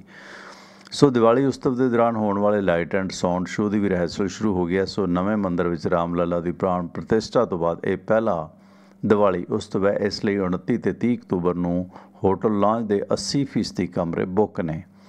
ਤੇ ਇਸ ਵਾਰ ਮੰਦਿਰ ਪਰਿਸਰ ਦੇ ਵਿੱਚ ਦੀਵਿਆਂ ਦਾ ਜ਼ਿਆਦਾ ਧੂਆਂ ਨਾ ਹੋਵੇ, ਇਸ ਕਰਕੇ ਦੀਵਾਰਾਂ ਤੇ ਤੱਬੇ ਨਾ ਲੱਗਣ। ਇਸ ਲਈ ਪਹਿਲੀ ਵਾਰ ਮੋਮ ਦੇ ਦੀਵੇ ਜਗਾਏ ਜਾਣਗੇ। ਇਸ ਵਾਰ ਦੀਵਾਲੀ ਦਾ ਮੁੱਖ ਮੰਚ ਰਾਮ ਕਥਾ ਪਾਰਕ ਦੇ ਵਿੱਚ Myanmar, Nepal, Thailand, Malaysia, Colombia ਤੇ ਕੰਬੋਡੀਆ ਕੰਬੋਡੀਆ ਤੇ ਇੰਡੋਨੇਸ਼ੀਆ ਦੇ ਕਲਾਕਾਰ ਵੀ ਰਾਮਲੀਲਾ ਦੇ ਵਿੱਚ ਸ਼ਾਮਲ ਹੋਣਗੇ। ਇਸ ਸੰਬੰਧੀ ਜਾਣੀ ਕਿ 28 ਲੱਖ ਦੀਵਾ ਜਗਾਇਆ ਜਾਏਗਾ ਕਿ ਜੇ 3 ਲੱਖ ਬੁਝ ਵੀ ਗਿਆ ਤਾਂ ਵੀ 25 ਲੱਖ ਦਾ ਰਿਕਾਰਡ ਗਿਨੀਜ਼ ਵਰਲਡ ਰਿਕਾਰਡ ਬਣਾਉਣਾ। ਵੈਸੇ ਇਹਨਾਂ ਰਿਕਾਰਡ ਦਾ ਫਾਇਦਾ ਕੀ ਹੈ, ਜੇ ਦੇਖਿਆ ਜਾਵੇ? ਗਰੀਬ ਦੇ ਘਰ ਦੀਵਾ ਜਗਦਾ ਹੋਵੇ ਤੇ ਉਹ ਅਸਲ ਰਾਮ ਰਾਜ ਹੈ।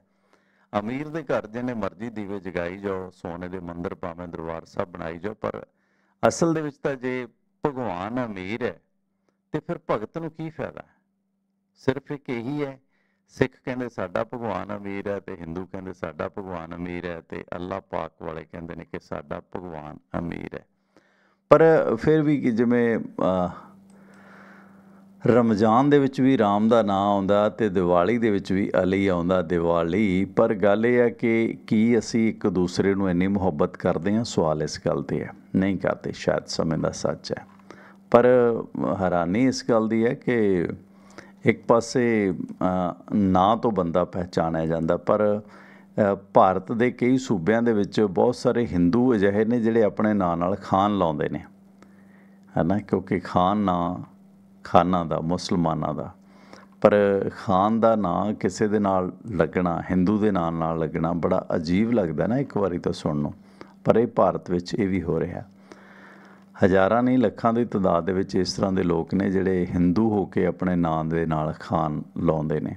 ਸੋ ਇਹ ਵੀ ਇਸ ਤਰ੍ਹਾਂ ਦਾ ਸਿਲਸਿਲਾ ਹੈ। ਖੈਰ, ਇਸ ਤੇ ਵੀ ਅੱਗੇ ਚੱਲ ਕੇ ਗੱਲ ਕਰਾਂਗੇ ਵਿਰਾਸਤ ਦੇ ਦੌਰ ਦੇ ਵਿੱਚ। ਤੇ ਜਿਸ ਤਰ੍ਹਾਂ ਫੈਸਟੀਵਲ ਸੀਜ਼ਨ ਹੈ ਭੱਜ ਨੱਠ ਬੜੀ ਹੈ ਇਧਰ ਉਧਰ ਜਾਣ ਦੀ ਹਰ ਬੰਦੇ ਦੀ ਕੋਸ਼ਿਸ਼ ਹੈ ਕਿ ਦੀਵਾਲੀ ਦੇ ਮੌਕੇ ਘਰੇ ਜਾਇਆ ਜਾਵੇ। ਇਸ ਸੰਬੰਧੀ ਮੁੰਬ- ਮੁੰਬਈ ਦੇ ਬਾਂਦਰਾ ਰੇਲਵੇ ਸਟੇਸ਼ਨ ਤੇ ਗੋਰਖਪੁਰ ਜਾਣ ਵਾਲੀ ਟ੍ਰੇਨ ਚੜ੍ਹਨ ਦੇ ਚੱਕਰ ਦੇ ਵਿੱਚ ਭਗਦੜ ਮੱਚੀ। 9 ਵਿਅਕਤੀ ਜ਼ਖਮੀ ਹੋ ਗਏ ਨੇ। ਹਾਲਾਂਕਿ ਇਹ ਜਿਹੜੀਆਂ ਭੀੜਾਂ ਨੇ ਗੱਲ ਇਹ ਹੈ ਕਿ ਜਾਣ ਵਾਲੇ ਜ਼ਿਆਦਾ ਨੇ ਤੇ ਟ੍ਰੇਨ ਦੇ ਵਿੱਚ ਜਗ੍ਹਾ ਘੱਟ ਹੈ। ਜਿਸ ਕਰਕੇ ਇਸ ਤਰ੍ਹਾਂ ਦੀਆਂ ਸਥਿਤੀਆਂ ਅਕਸਰ ਇੰਡੀਆ ਦੇ ਵਿੱਚ ਬਣਦੀਆਂ ਨੇ। ਦੀਵਾਲੀ ਦੇ ਮੌਕੇ ਪ੍ਰਦੂਸ਼ਣ ਵੀ ਵੱਧਦਾ ਇਸ ਸੰਬੰਧੀ ਪ੍ਰਦੂਸ਼ਣ ਨੇ ਦੀਵਾਲੀ ਤੋਂ ਪਹਿਲਾਂ ਹੀ ਦਿੱਲੀ ਦੀ ਸਿਹਤ ਵਿਗਾੜ ਦਿੱਤੀ ਹੈ। ਦਿੱਲੀ ਦੇ ਵਿੱਚ ਹਵਾ ਦੀ ਗੁਣਵੱਤਾ ਬੇहद ਖਰਾਬ ਦੀ ਸ਼੍ਰੇਣੀ 'ਚ ਆ ਗਈ ਹੈ ਤੇ ਕਈ ਥਾਵਾਂ ਤੇ 에ਅਰ ਕੁਆਲਿਟੀ ਇੰਡੈਕਸ ਬੇहद ਗੰਭੀਰ ਹੈ। ਦਿੱਲੀ ਦੇ ਜਹਾਂਗੀਰਪੁਰੀ, ਇਹਦਾ ਨਾਮ ਬਦਲੋ ਯਾਰ। ਹੈ?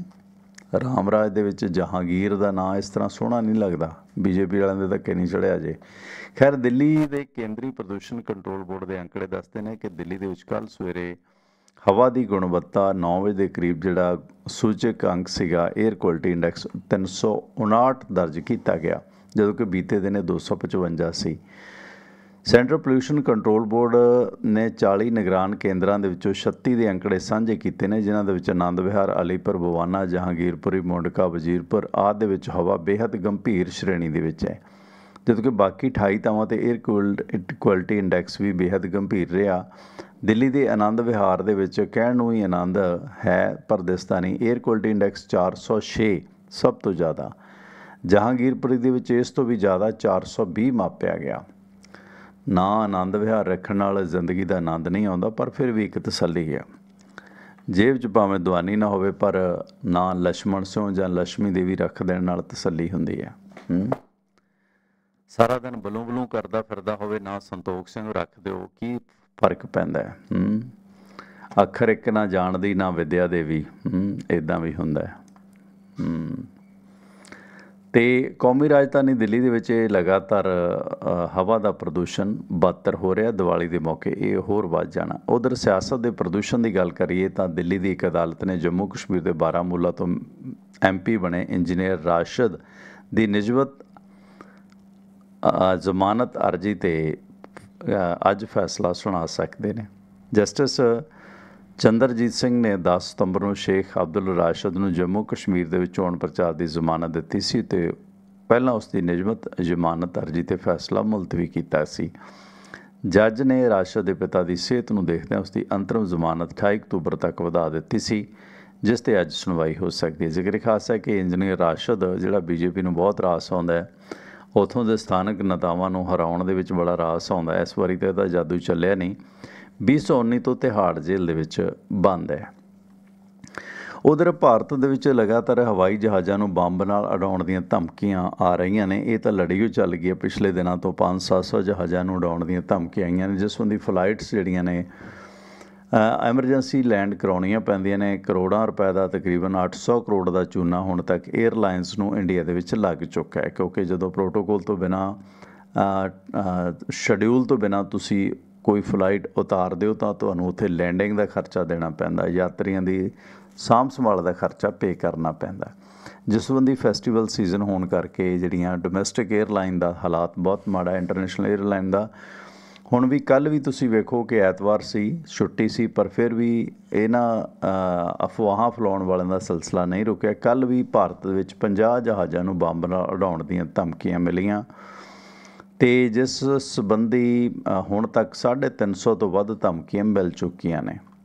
ਜਿਸ ਸੰਬੰਧੀ ਅ, ਅਫਰਾ ਤਫਰੀ 에ਅਰਪੋਰਟ ਤੇ ਲਗਾਤਾਰ ਜਾਰੀ ਹੈ। ਉਧਰ 에ਅਰਪੋਰਟ ਤੋਂ ਚੜ੍ਹ ਕੇ ਬੰਦਾ ਕੈਨੇਡਾ ਪਹੁੰਚ ਜਾਂਦਾ ਹੈ। ਕੈਨੇਡਾ ਦੇ ਵਿੱਚ ਹਾਲਾਤ ਜੋਪਿੰਦਰਜੀਤ ਸਿੰਘ ਦੱਸਦੇ ਨੇ ਕਿ ਕੈਨੇਡਾ ਦੇ ਜ਼ਿਆਦਾਤਰ ਜਿਹੜੇ ਵਸਿੰਦੇ ਨੇ ਉਹਨਾਂ ਦਾ ਮੰਨਣਾ ਹੈ ਕਿ ਕੈਨੇਡਾ ਦੇ ਵਿੱਚ ਕਾਫੀ ਤਾਦਾਦ ਦੇ ਵਿੱਚ ਪ੍ਰਵਾਸੀ ਆਏ ਨੇ।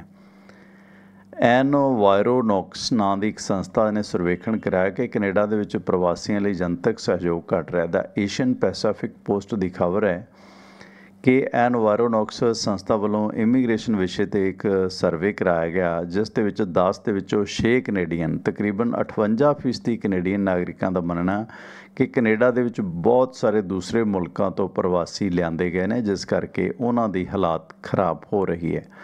ਇਸ ਸੰਸਥਾ ਨੇ ਇਸ ਹਫ਼ਤੇ ਇਹ ਆਪਣੀ ਵੈਬਸਾਈਟ ਤੇ ਇਹ ਜਾਣਕਾਰੀ ਅਪਲੋਡ ਕੀਤੀ ਹੈ, ਜਿਸ ਮੁਤਾਬਕ ਕੈਨੇਡਾ ਦੇ ਵਿੱਚ 2023 ਤੋਂ ਲੈ ਕੇ ਹੁਣ ਤੱਕ ਪ੍ਰਵਾਸੀਆਂ ਦੀ ਗਿਣਤੀ 14% ਵਧੀ ਹੈ, ਜੋ ਕਿ ਪਿਛਲੇ ਸਾਲ 2023 ਦੇ ਨਾਲੋਂ 17 ਪੁਆਇੰਟ ਜ਼ਿਆਦਾ ਹੈ। ਸਰਵੇਖਣ ਦੀ ਖੋਜ ਬਾਰੇ ਐਨਵਾਇਰੋਨਿਕਸ ਸੰਸਥਾ ਨੇ ਜਨਤਕ ਰਾਏ ਲੈਣ ਤੇ ਕੈਨੇਡਾ ਦਾ ਭਵਿੱਖ ਤੈਅ ਕਰਨ ਬਾਰੇ ਮੁੱਦਿਆਂ ਤੇ ਸਮਾਜਿਕ ਖੋਜ ਕਰਨ ਦੇ ਲਈ 2006 ਦੇ ਵਿੱਚ ਮੈਡੀਕਲ ਐਡਮਸ ਸਥਾਪਿਤ ਕੀਤਾ ਸੀ। ਇਸ ਸੰਸਥਾ ਨੇ ਆਪਣੀ ਵੈਬਸਾਈਟ ਤੇ ਖੁਲਾਸਾ ਕੀਤਾ ਕਿ ਅਜਿਹੀ ਖੋਜ ਰਾਹੀਂ ਕੈਨੇਡਾ ਦੀ ਅਸਲ ਸਥਿਤੀ ਲੋਕਾਂ ਦੇ ਸਾਹਮਣੇ ਆਉਂਦੀ ਹੈ ਕਿ ਕੈਨੇਡਾ ਜਿਹੜਾ ਸੁਪਨਿਆਂ ਦਾ ਮੁਲਕ ਸੀ, ਧਰਤੀ ਤੇ ਸਵਰਗ ਸੀ, ਇਹ ਇੰਨਾ ਜਿਹੜਾ ਨਰਕ ਕਿਉਂ ਬਣਦਾ ਜਾ ਰਿਹਾ? ਜਿਸ ਸਿਲਸਿਲੇ ਵਿੱਚ ਉੱਥੇ ਸਭ ਤੋਂ ਵੱਡੀ ਸਮੱਸਿਆ ਇਮੀਗ੍ਰੈਂਟਸ ਨੇ, ਪ੍ਰਵਾਸੀ ਨੇ, ਜਿਹੜੇ ਕਿ ਦੂਸਰੇ ਦੇਸ਼ਾਂ ਤੋਂ ਆਉਂਦੇ ਨੇ ਤੇ ਜਿਸ ਕਰਕੇ ਉੱਥੋਂ ਦੇ ਕੰਮਕਾਜ ਤੇ ਅਸਰ ਪਿਆ, ਉੱਥੋਂ ਦੀ ਇਕਨੋਮੀ ਤੇ ਅਸਰ ਪਿਆ ਤੇ ਉਹਨਾਂ ਲੋਕਾਂ ਦੇ ਹਾਲਾਤ ਮਾੜੇ ਨੇ। ਸੋ ਇਸੇ ਕਰਕੇ ਪ੍ਰਵਾਸੀਆਂ ਦੇ ਖਿਲਾਫ ਜਿਵੇਂ ਆਪਣੇ ਪੰਜਾਬ 'ਚ ਲੋਕ ਕਹਿੰਦੇ ਨੇ ਕਿ ਆ ਭਈਆਂ ਨੇ ਐ ਕੁਝ ਕਰਤਾ, ਉਹੀ ਉੱਥੇ ਜਿਹੜੇ ਨੇ ਗੈਰ ਕੈਨੇਡੀਅਨ ਨੇ, ਉਹਨਾਂ ਦੇ ਬਾਰੇ ਇਹ ਸੋਚਿਆ ਜਾਂਦਾ ਹੈ।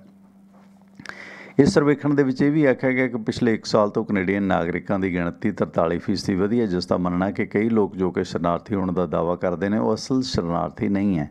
ਤੇ ਕਾਫੀ ਜ਼ਿਆਦਾ ਪ੍ਰਵਾਸੀ ਕੈਨੇਡਾ ਦੀਆਂ ਕਦਰਾਂ ਕੀਮਤਾਂ ਨਹੀਂ ਅਪਣਾ ਰਹੇ, ਦੋਵਾਂ ਮਸਲਿਆਂ ਦੇ ਵਿੱਚ, ਚਿੰਤਾਵਾਂ ਦੇ ਵਿੱਚ ਇੱਕ ਜ਼ਿਕਰਯੋਗ ਵਾਧਾ ਹੋਇਆ ਜੋ ਪਿਛਲੇ ਸਾਲਾਂ ਤੋਂ ਸਥਿਰ ਸੀ। ਇਸ ਸਰਵੇਖਣ ਦੇ ਮੁਤਾਬਕ 1977 ਦੇ ਵਿੱਚ ਫੋਕਸ ਕੈਨੇਡਾ ਨੇ ਜਦੋਂ ਇਹ ਸਵਾਲ ਪੁੱਛਣਾ ਸ਼ੁਰੂ ਕੀਤਾ ਕਿ ਉਦੋਂ ਤੋਂ ਪਿਛਲੇ 2 ਸਾਲਾਂ ਦੇ ਵਿੱਚ ਬੜੀ ਤੇਜ਼ੀ ਨਾਲ ਬਦਲਾਅ ਆਇਆ ਜੋ ਦਰਸਾਉਂਦਾ ਹੈ ਕਿ ਜ਼ਿਆਦਾਤਰ ਕੈਨੇਡੀਅਨ ਨਾਗਰਿਕਾਂ ਦਾ ਕਹਿਣਾ ਕਿ 1998 ਤੋਂ ਲੈ ਕੇ ਹੁਣ ਤੱਕ ਇਮੀਗ੍ਰੇਸ਼ਨ ਦੇ ਵਿੱਚ ਕਾਫੀ ਜ਼ਿਆਦਾ ਵਾਧਾ ਹੋਇਆ। ਇਹ ਸਰਵੇਖਣ ਰਿਪੋਰਟ ਦੱਸਦੀ ਹੈ ਕਿ ਪਿਛਲੇ 25 ਸਾਲਾਂ ਦੇ ਵਿੱਚ ਪਹਿਲੀ ਵਾਰੀ ਜ਼ਿਆਦਾਤਰ ਕੈਨੇਡੀਅਨ ਨਾਗਰਿਕਾਂ ਨੇ ਇਹ ਕਹਿਣਾ ਸ਼ੁਰੂ ਕਰ ਦਿੱਤਾ ਕਿ ਕੈਨੇਡਾ ਦੇ ਵਿੱਚ ਕਾਫੀ ਜ਼ਿਆਦਾ ਪ੍ਰਵਾਸੀ ਹੋ ਗਏ ਨੇ, ਜਿਸ ਕਰਕੇ ਸਮੱਸਿਆਵਾਂ ਵੱਧ ਰਹੀਆਂ ਨੇ। ਇਹ ਰੁਝਾਨ ਦੇਸ਼ ਭਰ ਦੇ ਵਿੱਚ ਦੇਖਣ ਨੂੰ ਮਿਲਿਆ। ਪੂਰੇ ਕੈਨੇਡਾ ਦੇ ਵਿੱਚ ਸਭ ਤੋਂ ਜ਼ਿਆਦਾ ਕੈਨੇਡਾ ਦੇ ਜਿਹੜੇ ਮੈਦਾਨੀ ਸੂਬਿਆਂ ਦੇ ਵਿੱਚ, ਪ੍ਰੇਰੀ ਦੇ ਵਿੱਚ ਦੇਖਣ ਨੂੰ ਮਿਲਿਆ ਇਹਨਾਂ ਸੂਬਿਆਂ ਦੇ ਵਿੱਚੋਂ ਅਲਬਰਟਾ, ਸਸਕੈਚੁਅਨ, ਮੈਨੀਟੋਬਾ ਸ਼ਾਮਲ ਨੇ। ਇਸ ਤੋਂ ਇਲਾਵਾ ਇਹ ਰੁਝਾਨ ਸਭ ਤੋਂ ਘੱਟ ਕਿਊਬਿਕ ਦੇ ਵਿੱਚ ਦੇਖਣ ਨੂੰ ਮਿਲਿਆ ਇਸ ਰਿਪੋਰਟ ਦੇ ਮੁਤਾਬਕ ਕੰਜ਼ਰਵੇਟਿਵ ਪਾਰਟੀ ਦੇ ਜ਼ਿਆਦਾ ਸਮਰਥਕ ਤਕਰੀਬਨ 80% ਦਾ ਮੰਨਣਾ ਕਿ ਦੇਸ਼ ਦੇ ਵਿੱਚ ਪ੍ਰਵਾਸੀ ਬਹੁਤ ਜ਼ਿਆਦਾ ਹੋ ਗਏ ਨੇ। ਜਦੋਂ ਕਿ ਲਿਬਰਲ ਪਾਰਟੀ ਦੇ 45% ਤੇ ਐਨਡੀਪੀ ਦੇ 36% ਸਮਰਥਕਾਂ ਦਾ ਵੀ ਇਹੀ ਮੰਨਣਾ ਹੈ ਕਿ ਇਹ ਪ੍ਰਵਾਸੀ ਬਹੁਤ ਹੋ ਗਏ ਨੇ, ਇਹੀ ਪ੍ਰੋਬਲਮ ਦੀ ਜੜ ਨੇ।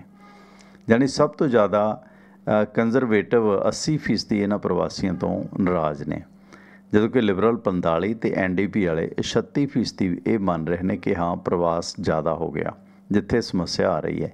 ਇਮੀਗ੍ਰੇਸ਼ਨ ਨੂੰ ਨਕਾਰਨ ਦੇ ਕਾਰਨਾਂ ਬਾਰੇ ਕੈਨੇਡੀਅਨ ਨਾਗਰਿਕਾਂ ਦਾ ਕਹਿਣਾ ਕਿ ਉਹਨਾਂ ਦੀ ਇਹ ਚਿੰਤਾ ਕਿ ਨਵੇਂ ਆਉਣ ਵਾਲੇ ਪ੍ਰਵਾਸੀ ਰਿਹਾਇਸ਼ ਤੇ ਮਹਿੰਗਾਈ ਨਾਲ ਕਿਵੇਂ ਨਜਿੱਠਣਗੇ। ਇਸ ਤੋਂ ਇਲਾਵਾ ਦੇਸ਼ ਦੇ ਵਿੱਚ ਹੱਦੋਂ ਵੱਧ ਆਬਾਦੀ ਹੋਣ ਨਾਲ ਜਨਤਕ ਵਿੱਤੀ ਬੋਝ ਵਧੇਗਾ। ਦਾ ਏਸ਼ੀਆ ਪੈਸੀਫਿਕ ਪੋਸਟ ਦੀ ਰਿਪੋਰਟ ਦੱਸਦੀ ਹੈ ਕਿ 2024 ਤੋਂ ਲੈ ਕੇ 2026 ਦੇ ਲਈ ਕੈਨੇਡਾ ਦੀ ਤਾਜ਼ਾ ਇਮੀਗ੍ਰੇਸ਼ਨ ਲੈਵਲ ਯੋਜਨਾ ਦੇ ਮੁਤਾਬਕ 2024 ਦੇ ਵਿੱਚ ਕੈਨੇਡਾ ਦੇ ਵਿੱਚ 4,85,000 ਪ੍ਰਵਾਸੀਆਂ ਦਾ ਸਵਾਗਤ ਕਰਨ ਲਈ ਕੈਨੇਡਾ ਤਿਆਰ ਹੈ ਜਦੋਂ ਕਿ 2025 ਤੇ 2026 ਦੇ ਵਿੱਚ 5 ਲੱਖ ਹੋਰ ਪ੍ਰਵਾਸੀਆਂ ਨੂੰ ਕੈਨੇਡਾ ਆਉਣ ਦਾ ਸੱਦਾ ਦਿੱਤਾ ਜਾਏਗਾ।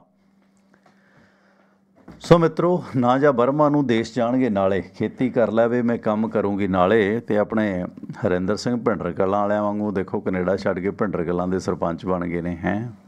ਸੋ ਇਸ ਕਰਕੇ ਮੁਲਕ ਦੇਖੇ ਦੇਸ਼ ਬਥੇਰੇ, ਕੋਈ ਦੇਸ਼ ਪੰਜਾਬੋਂ ਸੋਹਣਾ ਨਾ, ਇਸ ਪੰਜਾਬ ਨੂੰ ਸਵਾਰੋ। ਆਪਣਾ ਘਰ ਆਪਣਾ ਘਰ ਹੁੰਦਾ, ਕੋਸ਼ਿਸ਼ ਕਰੋ ਕਿ ਥੋੜਾ ਬਹੁਤ ਅਗਰ ਹੋ ਜਵੇ ਇਸ ਤੇ। ਪਰ ਆਪਣੇ ਘਰ ਦੇ ਵਿੱਚ ਜਿਹੜਾ ਕੁਝ ਲਾਂਤੀ ਲਾਣਾ, ਉਹ ਜਿਉਣ ਜੋਗਾ ਨਹੀਂ ਛੱਡਦਾ। ਹੁਣ ਦਿੱਲੀ ਕਤਲੇਆਮ 1984 ਨਵੰਬਰ ਦੇ ਦਿਹਾੜੇ ਆਉਣ ਵਾਲੇ ਨੇ। ਇਸ ਸੰਬੰਧੀ ਦਿੱਲੀ ਹਾਈ ਕੋਰਟ ਨੇ 1984 ਦੇ ਸਿੱਖ ਕਤਲੇਆਮ ਦੇ ਮਾਮਲੇ ਦੇ ਵਿੱਚ ਸਾਬਕਾ ਕਾਂਗਰਸੀ ਸੱਜਣ ਕੁਮਾਰ ਤੇ ਹੋਰਾਂ ਨੂੰ ਬਰੀ ਕਰਨ ਦੇ ਖਿਲਾਫ ਸੀਬੀਆਈ ਦੀ ਇੱਕ ਅਪੀਲ ਸਵੀਕਾਰ ਕਰ ਲਈ ਹੈ। ਸੱਜਣ ਕੁਮਾਰ ਨੂੰ ਬਰੀ ਕਰਨ ਦੇ ਖਿਲਾਫ ਸੀਬੀ ਦੀ ਅਪੀਲ ਪ੍ਰਵਾਨ ਕਰ ਲਈ ਹੈ। ਜਸਟਿਸ ਪ੍ਰਤਿਭਾ ਐਮ ਸਿੰਘ ਤੇ ਅਮਿਤ ਸ਼ਰਮਾ ਦੇ ਬੈਂਚ ਨੇ 21 ਅਕਤੂਬਰ ਨੂੰ ਜਾਰੀ ਕੀਤੇ ਆਦੇਸ਼ ਵਿੱਚ ਜਾਂਚ ਏਜੰਸੀ ਨੂੰ ਹੇਠਲੀ ਅਦਾਲਤ ਦੇ 20 ਸਤੰਬਰ 2023 ਦੇ ਹੁਕਮਾਂ ਦੇ ਖਿਲਾਫ ਅਪੀਲ ਦੀ ਇਜਾਜ਼ਤ ਦਿੱਤੀ ਹੈ।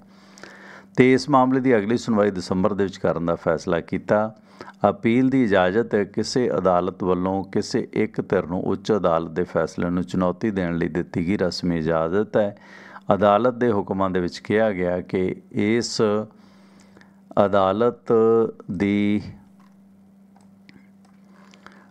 ਜਿਹੜੀ ਕਾਰਵਾਈ ਹੈ, ਉਹ ਕਾਨੂੰਨ ਦੀ ਬਣਾ ਤੇ ਕੀਤੀ ਗਈ ਹੈ ਤੇ ਇਸ ਅਦਾਲਤ ਦੀ ਰਾਏ ਅਨੁਸਾਰ ਸੀਬੀਆਈ ਨੂੰ ਅਪੀਲ ਦੀ ਇਜਾਜ਼ਤ ਦਿੱਤੀ ਜਾਂਦੀ ਹੈ, ਅਪੀਲ ਸਵੀਕਾਰ ਕੀਤੀ ਜਾਂਦੀ ਹੈ। ਅਦਾਲਤ ਨੇ ਇਸ ਮਾਮਲੇ ਦੇ ਵਿੱਚ ਬਰੀ ਕਰਨ ਦੇ ਆਦੇਸ਼ ਖਿਲਾਫ ਪੀੜਤਾ ਸ਼ੀਲਾ ਕੌਰ, ਜੋ ਸਿੱਖ ਲੇਡੀ ਸੀ, ਉਸ ਦੀ ਅਪੀਲ ਵੀ ਸਵੀਕਾਰ ਕਰ ਲਈ ਹੈ। ਅਥਾਰਟੀ ਨੂੰ ਮੌਜੂਦਾ ਮੁਲਜ਼ਮਾਂ ਖਿਲਾਫ 1984 ਦੇ ਕਤਲੇਆਮ ਸੰਬੰਧੀ ਕਿਸੇ ਹੋਰ ਅਪੀਲ ਤੇ ਇੱਕ ਹੋਰ ਰਿਪੋਰਟ ਪੇਸ਼ ਕਰਨ ਲਈ ਕਿਹਾ ਗਿਆ। ਇਹ, ਇਸ ਕੇਸ ਦੀ ਸੁਣਵਾਈ ਕਰ ਰਹੀ ਵਿਸ਼ੇਸ਼ ਜੱਜ ਗੀਤਾਂਜਲੀ ਗੋਇਲ ਨੇ 20 ਸਤੰਬਰ 2023 ਨੂੰ ਇਸ ਮਾਮਲੇ 'ਚ ਸੱਜਣ ਕੁਮਾਰ ਨੂੰ ਬਰੀ ਕਰਦਿਆਂ ਉਸ ਨੂੰ ਸ਼ੱਕ ਦਾ ਲਾਭ ਦਿੱਤਾ ਸੀ ਤੇ ਕਿਹਾ ਸੀ ਕਿ ਇਸਤਗਾਸਾ ਪੱਖ ਮੁਲਾਜ਼ਮਾਂ ਖਿਲਾਫ ਸ਼ੱਕ ਤੋਂ ਪਰੇ ਦੋਸ਼ ਸਾਬਤ ਕਰਨ ਦੇ ਵਿੱਚ ਨਾਕਾਮ ਹੈ। ਹੇਠਲੀ ਅਦਾਲਤ ਨੇ ਦੋ ਹੋਰ ਮੁਲਾਜ਼ਮ, ਵੇਦ ਪ੍ਰਕਾਸ਼ ਪਿਆਲ ਤੇ ਬਰਮਾਨੰਦ ਗੁਪਤਾ ਨੂੰ ਵੀ ਬਰੀ ਕਰਦਿਆਂ ਕਿਹਾ ਸੀ ਕਿ ਇਸਤਗਾਸਾ ਪੱਖ ਉਹਨਾਂ ਦੇ ਖਿਲਾਫ ਹੱਤਿਆ ਤੇ ਦੰਗਾ ਕਰਨ ਦੇ ਦੋਸ਼ ਸਾਬਤ ਕਰਨ ਦੇ ਵਿੱਚ ਅਸਫਲ ਰਿਹਾ। ਕੀ ਕਰੋਗੇ ਤੁਸੀਂ? ਕਿੱਥੋਂ ਸਬੂਤ ਲਿਆਏਗੀ ਸ਼ੀਲਾ ਕੌਰ? ਇਸ ਅਦਾਲਤ 'ਚ ਬੰਦੇ ਬਿਰਖ ਹੋ ਗਏ, ਫੈਸਲਾ ਸੁਣਦਿਆਂ ਸੁਣਦਿਆਂ ਥੱਕ ਗਏ, ਹਨਾ, ਮੁੱਕ ਗਏ। ਇਹ ਸਥਿਤੀ ਮੁਲਕ ਮੇਰੇ ਦੀ ਬਣਦੀ ਹੈ। ਤੇ ਜਿਸ ਸਿਲਸਿਲੇ ਵਿੱਚ ਫਿਰ ਬੰਦਾ ਕਰੇ ਤਾਂ ਕਰੇ ਕੀ? ਉਧਰ ਤੁਸੀਂ ਵੇਖੋ ਕਿਸਾਨਾਂ ਨੂੰ ਡੀਏਪੀ ਦਾ ਇੱਕ ਵੱਡਾ ਝੂਨਾ ਲੱਗ ਰਿਹਾ ਹੈ। ਕਿਸਾਨਾਂ ਨੂੰ ਖਾਦ ਦੇ ਨਾਲ ਵਾਧੂ ਹੋਰ ਸਮਾਨ ਦਿੱਤਾ ਜਾ ਰਿਹਾ ਹੈ। ਮਜਬੂਰ ਕੀਤਾ ਜਾ ਰਿਹਾ ਕਿ ਜੇ ਡੀਓਪੀ ਲੈਣੀ ਹੈ ਤਾਂ ਆ ਸਪਰੇਅ ਵੀ ਚੱਕੋ ਆ ਫਿਲਟਰ ਵੀ ਚੱਕੋ। ਸੋ ਸਰਕਾਰ ਦੇ ਉੱਤੇ ਪੰਜਾਬ ਦੇ ਵਿੱਚ ਇਹ ਮਸਲਾ ਹੱਲ ਕਰਨਾ ਕਰਨ ਦੇ ਦੋਸ਼ ਲੱਗੇ ਨੇ। ਪੰਜਾਬ ਦੇ ਵਿੱਚ ਡੀਏਪੀ ਖਾਦ ਦੀ ਕਾਲਾਬਾਜ਼ਾਰੀ ਵੱਧ ਗਈ ਹੈ।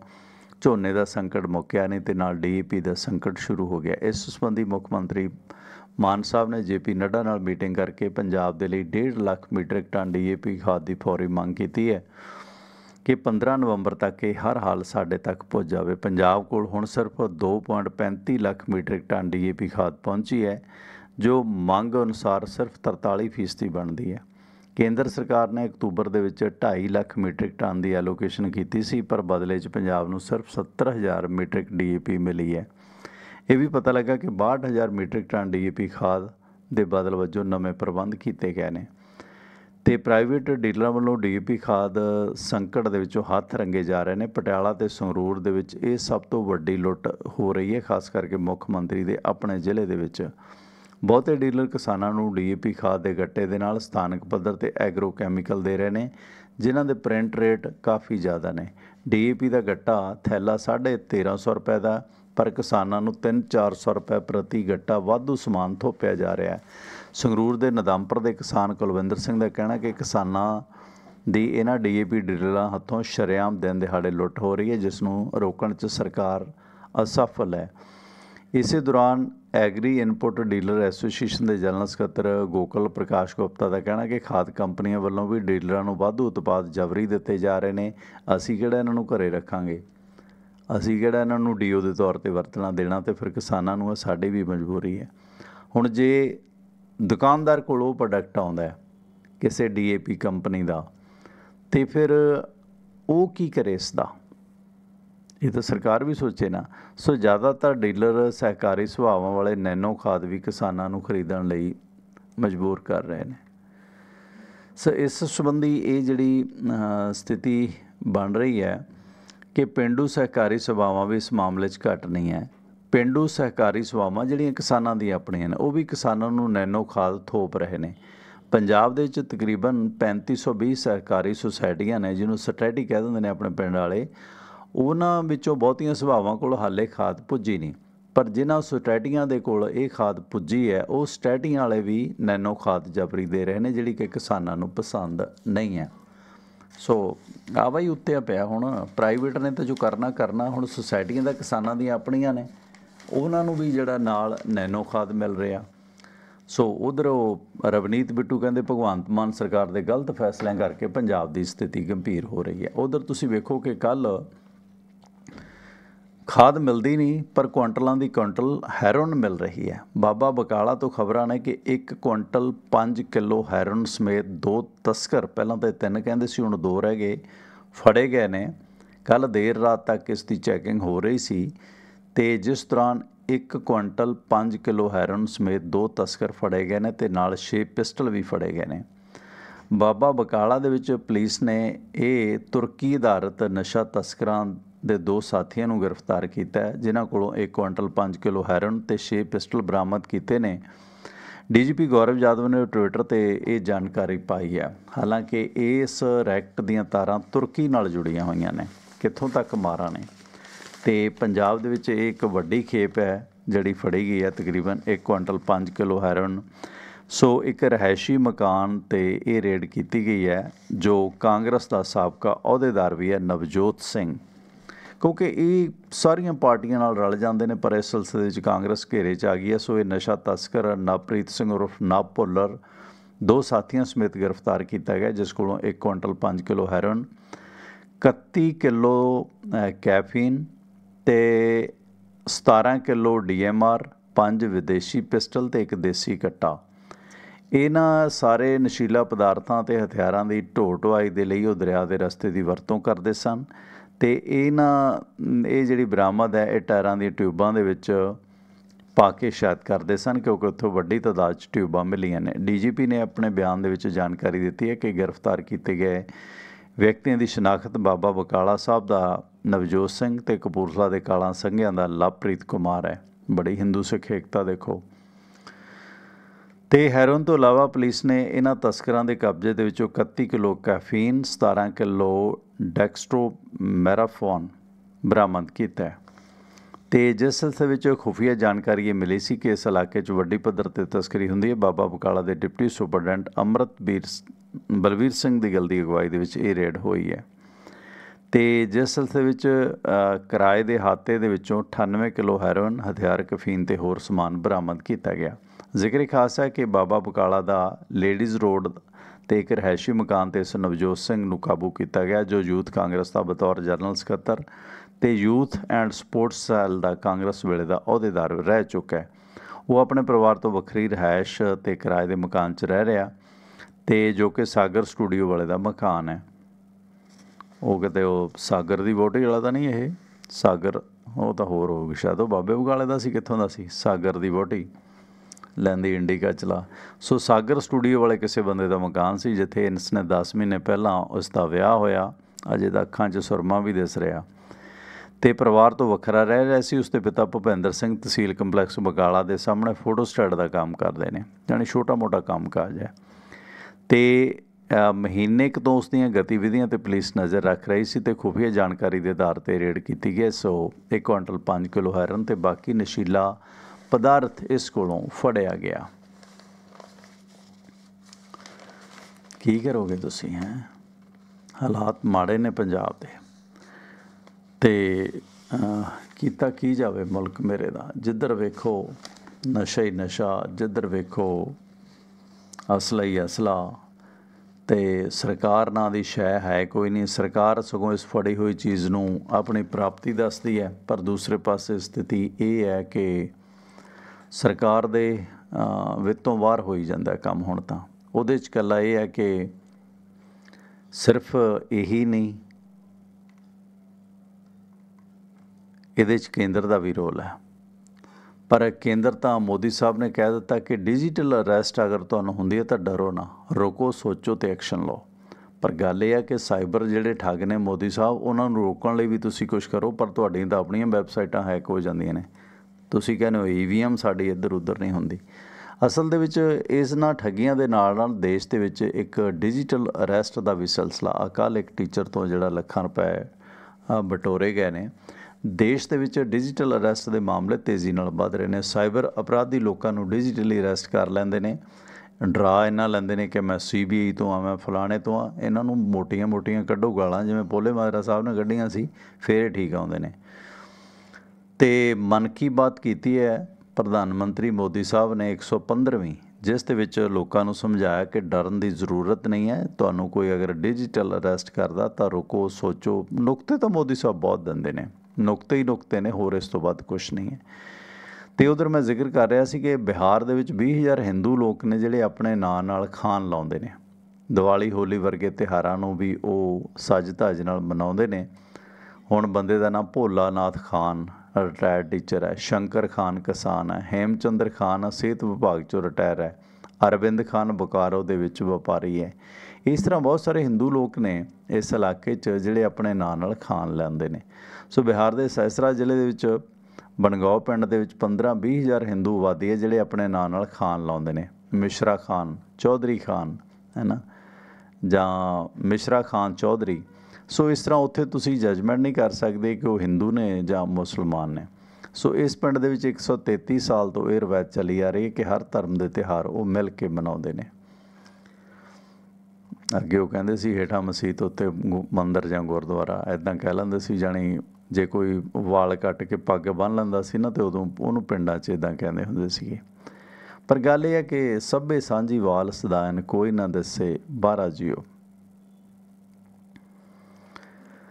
ਨਸਰਾਲੇ ਦੀਆਂ ਖਬਰਾਂ ਨੇ ਹੁਸ਼ਿਆਰਪੁਰ ਤੋਂ ਬਾਈ ਜੀ ਆਪਣੇ ਜੁੜਦੇ ਹੁੰਦੇ ਨੇ। ਕਸਬਾ ਨਸਰਾਲਾ ਦੇ ਵਿੱਚ ਸਾਬਕਾ ਸਰਪੰਚ ਦੀ ਗਲਾ ਘੁੱਟ ਕੇ ਹੱਤਿਆ ਕਰ ਦਿੱਤੀ ਗਈ ਹੈ। ਪੈਸੇ ਦੇ ਝਗੜੇ ਨੂੰ ਲੈ ਕੇ ਸਰਜੀਤ ਸਿੰਘ ਨੇ ਬਿਆਨ ਦਰਜ ਕਰਾਇਆ ਕਿ ਉਸ ਦੇ ਤਾਇਆ ਮਨਮੋਹਨ ਸਿੰਘ 92 ਸਾਲਾ ਘਰ ਦੇ ਵਿੱਚ ਇਕੱਲੇ ਰਹਿੰਦੇ ਸੀ। ਖਾਣਾ ਬਣਾਉਣ ਲਈ ਰੱਖੀ ਮਹਿਲਾ ਨੇ ਦੱਸਿਆ ਕਿ ਮਨਮੋਹਨ ਸਿੰਘ 25 ਅਕਤੂਬਰ ਨੂੰ ਆਪਣੇ ਘਰੋਂ ਗਾਇਬ ਸੀ। ਸਰਜੀਤ ਸਿੰਘ ਨੇ ਦੱਸਿਆ ਕਿ ਉਸ ਦੇ ਤਾਇਆ ਜੀ ਮੋਟਰ ਤੇ ਮਨੋਜ ਕੁਮਾਰ ਨਿਵਾਸੀ ਕਟਿਆ। ਹਾਲਾਬਾਦ ਭਗਤ ਸਿੰਘ ਨਗਰ ਉਹਨਾਂ ਦੀ ਦੇਖ ਰੇਖ ਲਈ ਰੱਖਿਆ ਹੋਇਆ ਸੀ ਤੇ ਮਨੋਜ 5 ਸਾਲ ਤੋਂ ਖੇਤਾਂ ਦੇ ਵਿੱਚ ਦਵਾਈ ਸਪਲਾਈ ਕਰਨ ਦੇ ਲਈ ਆਉਂਦਾ ਰਹਿੰਦਾ ਸੀ।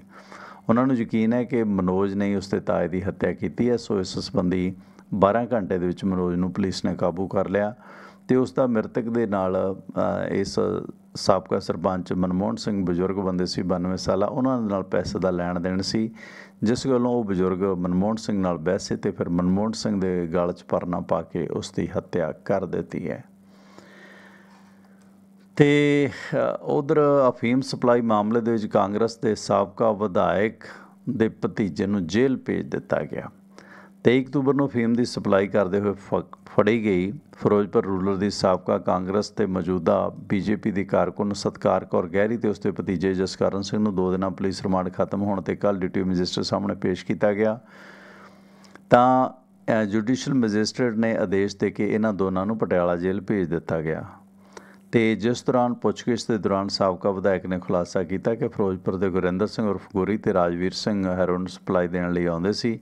ਤੇ ਗੁਰੀ ਪਹਿਲਾਂ ਐਨਡੀਪੀਐਸ ਐਕਟ ਦੇ ਮਾਮਲੇ ਦੇ ਅਧੀਨ ਦੋਸ਼ੀ ਹੈ ਤੇ ਦੋਨਾਂ ਦੀ ਤਲਾਸ਼ ਜਾਰੀ ਹੈ ਉਹਨਾਂ ਦੀ ਤੇ ਉਹ ਅਜੇ ਫਰਾਰ ਨੇ। ਪੁੱਛਗਿੱਛ ਦੇ ਦੌਰਾਨ ਰਿਮਾਂਡ ਦੇ ਦੌਰਾਨ ਜੋ ਇਨਪੁਟ ਪੁਲਿਸ ਨੇ ਦਿੱਤੀ ਹੈ ਕਿ ਫਿਰੋਜ਼ਪੁਰ ਸਥਿਤ ਸਾਬਕਾ ਵਿਧਾਇਕ ਸਤਕਾਰ ਕੌਰ ਦੀ ਕੋਠੀ ਦੇ ਵਿੱਚ ਉਹ ਸਰਚ ਕਰਨ ਗਏ ਸੀ, ਪਰ ਉੱਥੇ ਤਾਲਾ ਲੱਗਿਆ ਹੋਇਆ। ਇਸ ਦੌਰਾਨ ਇਸ ਪੁਲਿਸ ਦੀ ਟੁਕੜੀ ਨੇ ਸਾਬਕਾ ਵਿਧਾਇਕ ਦੀ ਖਰੜ ਅਤੇ ਅੱਲੇਪੁਰ ਦੇ ਵਿੱਚ ਦੋਨਾਂ ਕੋਠੀਆਂ ਦੀ ਸਰਚ ਲਈ ਅਦਾਲਤ ਤੋਂ ਆਗਿਆ ਮੰਗੀ ਹੈ। ਕਿਉਂਕਿ ਇਸ ਤੋਂ ਇਲਾਵਾ ਪੰਜ ਗੱਡੀਆਂ ਦੇ ਨੰਬਰ ਪਲੇਟ ਜਿਹੜੀ ਮਿਲੀ ਹੈ, ਉਹਨਾਂ ਦਾ ਪਤਾ ਕੀਤਾ ਜਾ ਰਿਹਾ ਹੈ।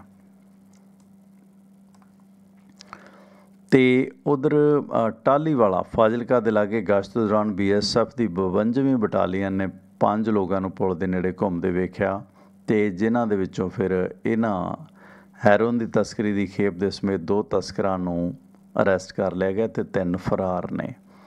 ਹਾਲਾਂਕਿ ਡੇਰਾ ਬਾਬਾ ਨਾਨਕ ਦੇ ਖੇਤਾਂ ਦੇ ਵਿੱਚੋਂ ਵੀ 1.5 ਕਿਲੋ ਹੈਰਨ ਮਿਲੀ ਹੈ। ਹਾਲਾਂਕਿ ਇਸ ਸੰਬੰਧੀ ਕੋਈ ਦੋਸ਼ੀ ਦੀ ਸ਼ਨਾਖਤ ਨਹੀਂ ਹੋਈ। ਅਗਿਆਤ ਲੋਕਾਂ ਤੇ ਮਾਮਲਾ ਦਰਜ ਕੀਤਾ ਗਿਆ। ਤੇ ਉਧਰ ਬਠਿੰਡਾ ਦੇ ਵਿੱਚ ਦੋਸਤ ਨੇ ਹੀ ਦੋਸਤ ਨੂੰ ਚਿੱਟੇ ਦਾ ਇੰਜੈਕਸ਼ਨ ਲਾਇਆ, ਜਿਸ ਦੇ ਨਾਲ ਓਵਰਡੋਜ਼ ਨਾਲ ਬਲਜਿੰਦਰ ਸਿੰਘ 25 ਸਾਲਾਂ ਦੀ ਮੌਤ ਹੋ ਗਈ ਹੈ। ਪਿੰਡ ਮਾਹੀ ਨੰਗਲ ਗਾਇਕ ਆ ਬਾਈ ਜੀ ਉਹਦਾ ਹਰਦੇਵ ਮਾਹੀ ਨੰਗਲ ਦਾ ਪਿੰਡ ਹੈ। ਉਸ ਦੇ ਨਿਵਾਸੀ ਬਲਜਿੰਦਰ ਸਿੰਘ ਨੇ ਦੋਸਤ ਨੂੰ ਚਿੱਟੇ ਦਾ ਟੀਕਾ ਲਗਾਇਆ, ਜਿਸ ਨਾਲ ਉਸ ਦੀ ਮੌਤ ਹੋ ਗਈ। ਹੈ ਤਲਵੰਡੀ ਸਾਬੋ ਪੁਲਿਸ ਨੇ ਇਸ ਸੰਬੰਧੀ ਮ੍ਰਿਤਕ ਦੇ ਪਿਤਾ ਦੀ ਸ਼ਿਕਾਇਤ ਤੇ ਉਸ ਦੇ ਹੀ ਦੋਸਤ ਦੇ ਖਿਲਾਫ ਪਰਚਾ ਦਰਜ ਕੀਤਾ ਹੈ। ਜਸਪਾਲ ਸਿੰਘ ਨੇ ਦੱਸਿਆ ਕਿ ਉਸ ਦੇ ਬੇਟੇ ਦੇ ਦੋਸਤ ਸਨੀ ਨੇ ਉਸ ਨੂੰ ਘਰੇ ਬੁਲਾਇਆ ਤੇ ਬੇਟਾ ਦੇਰ ਰਾਤ ਤੱਕ ਜਦੋਂ ਨਹੀਂ ਆਇਆ ਤਾਂ ਉਸ ਦਾ ਉਥੋਂ ਪਤਾ ਲੈਣ ਲਈ ਗਏ ਤਾਂ ਫਿਰ ਸਨੀ ਸਿੰਘ ਨੇ ਨਸ਼ੇ ਦੀ ਓਵਰਡੋਜ਼ ਦਾ ਟੀਕਾ ਉਸ ਦੇ ਬੇਟੇ ਨੂੰ ਲਗਾ ਦਿੱਤਾ, ਜਿਸ ਕਾਰਨ ਉਸ ਦੇ ਬੇਟੇ ਦੀ ਮੌਤ ਹੋ ਗਈ ਹੈ। ਤੇ ਇਸ ਤਰ੍ਹਾਂ ਦੀਆਂ ਘਟਨਾਵਾਂ ਦੇ ਵਿੱਚ ਬੇਤਹਾਸ਼ਾ ਵਾਧਾ ਹੋ ਰਿਹਾ ਤੇ ਉਧਰ ਡੇਂਗੂ ਦੇ ਵਿੱਚ ਵੀ ਬੇਤਹਾਸ਼ਾ ਵਾਧਾ ਹੋ ਰਿਹਾ। ਡੇਂਗੂ ਦੇ ਮਾਮਲੇ ਦੇ ਵਿੱਚ ਅ, ਥੋੜਾ ਜ਼ਿਆਦਾ ਵਾਧਾ ਹੋ ਰਿਹਾ। ਬਰਮੂਡਾ ਵਗੈਰਾ ਪਾਉਣ ਤੋਂ ਗੁਰੇਜ਼ ਕਰੋ। ਲੱਤਾਂ ਲੁੱਤਾਂ ਨੰਗੀਆਂ ਤੇ ਡੇਂਗੂ ਬਹੁਤ ਲੜਦਾ। ਘਰਾਂ ਦੀ ਸਾਫ਼ ਸਫ਼ਾਈ ਕਰੋ। ਦੀਵਾਲੀ ਵੀ ਆ ਗਈ ਹੈ। ਤੇ ਪੰਛੀਆਂ ਨੂੰ ਪਾਣੀ ਪਾਉਣਾ ਪਾਉਣਾ ਬੰਦ ਕਰੋ। ਉੱਥੇ ਵੀ ਡੇਂਗੂ ਦਾ ਲਾਰਵਾ ਵੱਧਦਾ ਹੈ। ਗਮਲਿਆਂ 'ਚ ਵੀ ਲੋੜ ਤੋਂ ਵੱਧ ਗਿੱਲ ਨਾ ਰੱਖੋ। ਉੱਥੇ ਵੀ ਇਸ ਦਾ ਲਾਰਵਾ ਵੱਧ ਜਾਂਦਾ। ਜੇ ਪਾਣੀ ਪਾਈ ਜਾਂਦੇ ਹੋ ਤੇ ਇਸ ਦੌਰਾਨ ਮੀਤ ਹੇਰ ਵਜ਼ੀਰ ਤੋਂ ਐਮਪੀ ਬਣੇ। ਮੀਤ ਹੇਰ ਵੀ ਡੇਂਗੂ ਪੀੜਤ ਹੋ ਗਏ ਨੇ, ਪਰ ਉਹਨਾਂ ਦੇ ਘਰ ਦੇ ਬਾਹਰ ਧਰਨਾ ਦੇਣ ਆਏ। ਆਦਰਸ਼ ਸਕੂਲ ਦੇ ਅਧਿਆਪਕਾਂ ਦੇ ਉੱਤੇ ਪੁਲਿਸ ਨੇ ਲਾਠੀਚਾਰਜ ਕੀਤਾ, ਜਦੋਂ ਉਹਨਾਂ ਨੇ ਜਬਰੀ ਬੈਰੀਕੇਟਿੰਗ ਹਟਾ ਕੇ ਮੀਤ ਹੇਰ ਦੇ ਘਰ ਵੜਨ ਦੀ ਕੋਸ਼ਿਸ਼ ਕੀਤੀ। ਇਸ ਆਦਰਸ਼ ਸਕੂਲ ਦੇ ਅਧਿਆਪਕਾਂ ਦਾ ਕਹਿਣਾ ਸੀ ਕਿ ਉਹਨਾਂ ਨੂੰ ਘੱਟ ਵੇਤਨ ਦਿੱਤਾ ਜਾ ਰਿਹਾ ਤੇ ਬਣਦੀਆਂ ਸਹੂਲਤਾਂ ਨਹੀਂ ਮਿਲ ਰਹੀਆਂ। ਸਮੱਸਿਆ ਦਾ ਹੱਲ ਕਰੋ। ਤੇ ਉਹਨਾਂ ਨੂੰ ਮਾਤਰ 10-12000 ਰੁਪਏ ਮਹੀਨੇ ਦੇ ਨਾਲ ਗੁਜ਼ਾਰਾ ਕਰਨਾ ਪੈਂਦਾ, ਜਿਹੜਾ ਕਿ ਇੱਕ ਦਿਹਾੜੀਦਾਰ ਮਜ਼ਦੂਰ ਤੋਂ ਵੀ ਘੱਟ ਹੈ। ਭਾਰਤੀ ਕਿਸਾਨ ਯੂਨੀਅਨ ਦੇ ਪ੍ਰਧਾਨ ਦੀ ਅਗਵਾਈ ਦੇ ਵਿੱਚ ਇਹਨਾਂ ਅਧਿਆਪਕਾਂ ਨੇ ਇਹ ਧਰਨਾ ਦਿੱਤਾ, ਜਿਸ ਦੌਰਾਨ ਇੱਕ ਟੀਚਰ ਸੁਖਦੀਪ ਕੌਰ ਵੀ ਪੁਲਿਸ ਦੀਆਂ ਡਾਂਗਾਂ ਦੇ ਨਾਲ ਜ਼ਖਮੀ ਹੋ ਗਈ ਹੈ।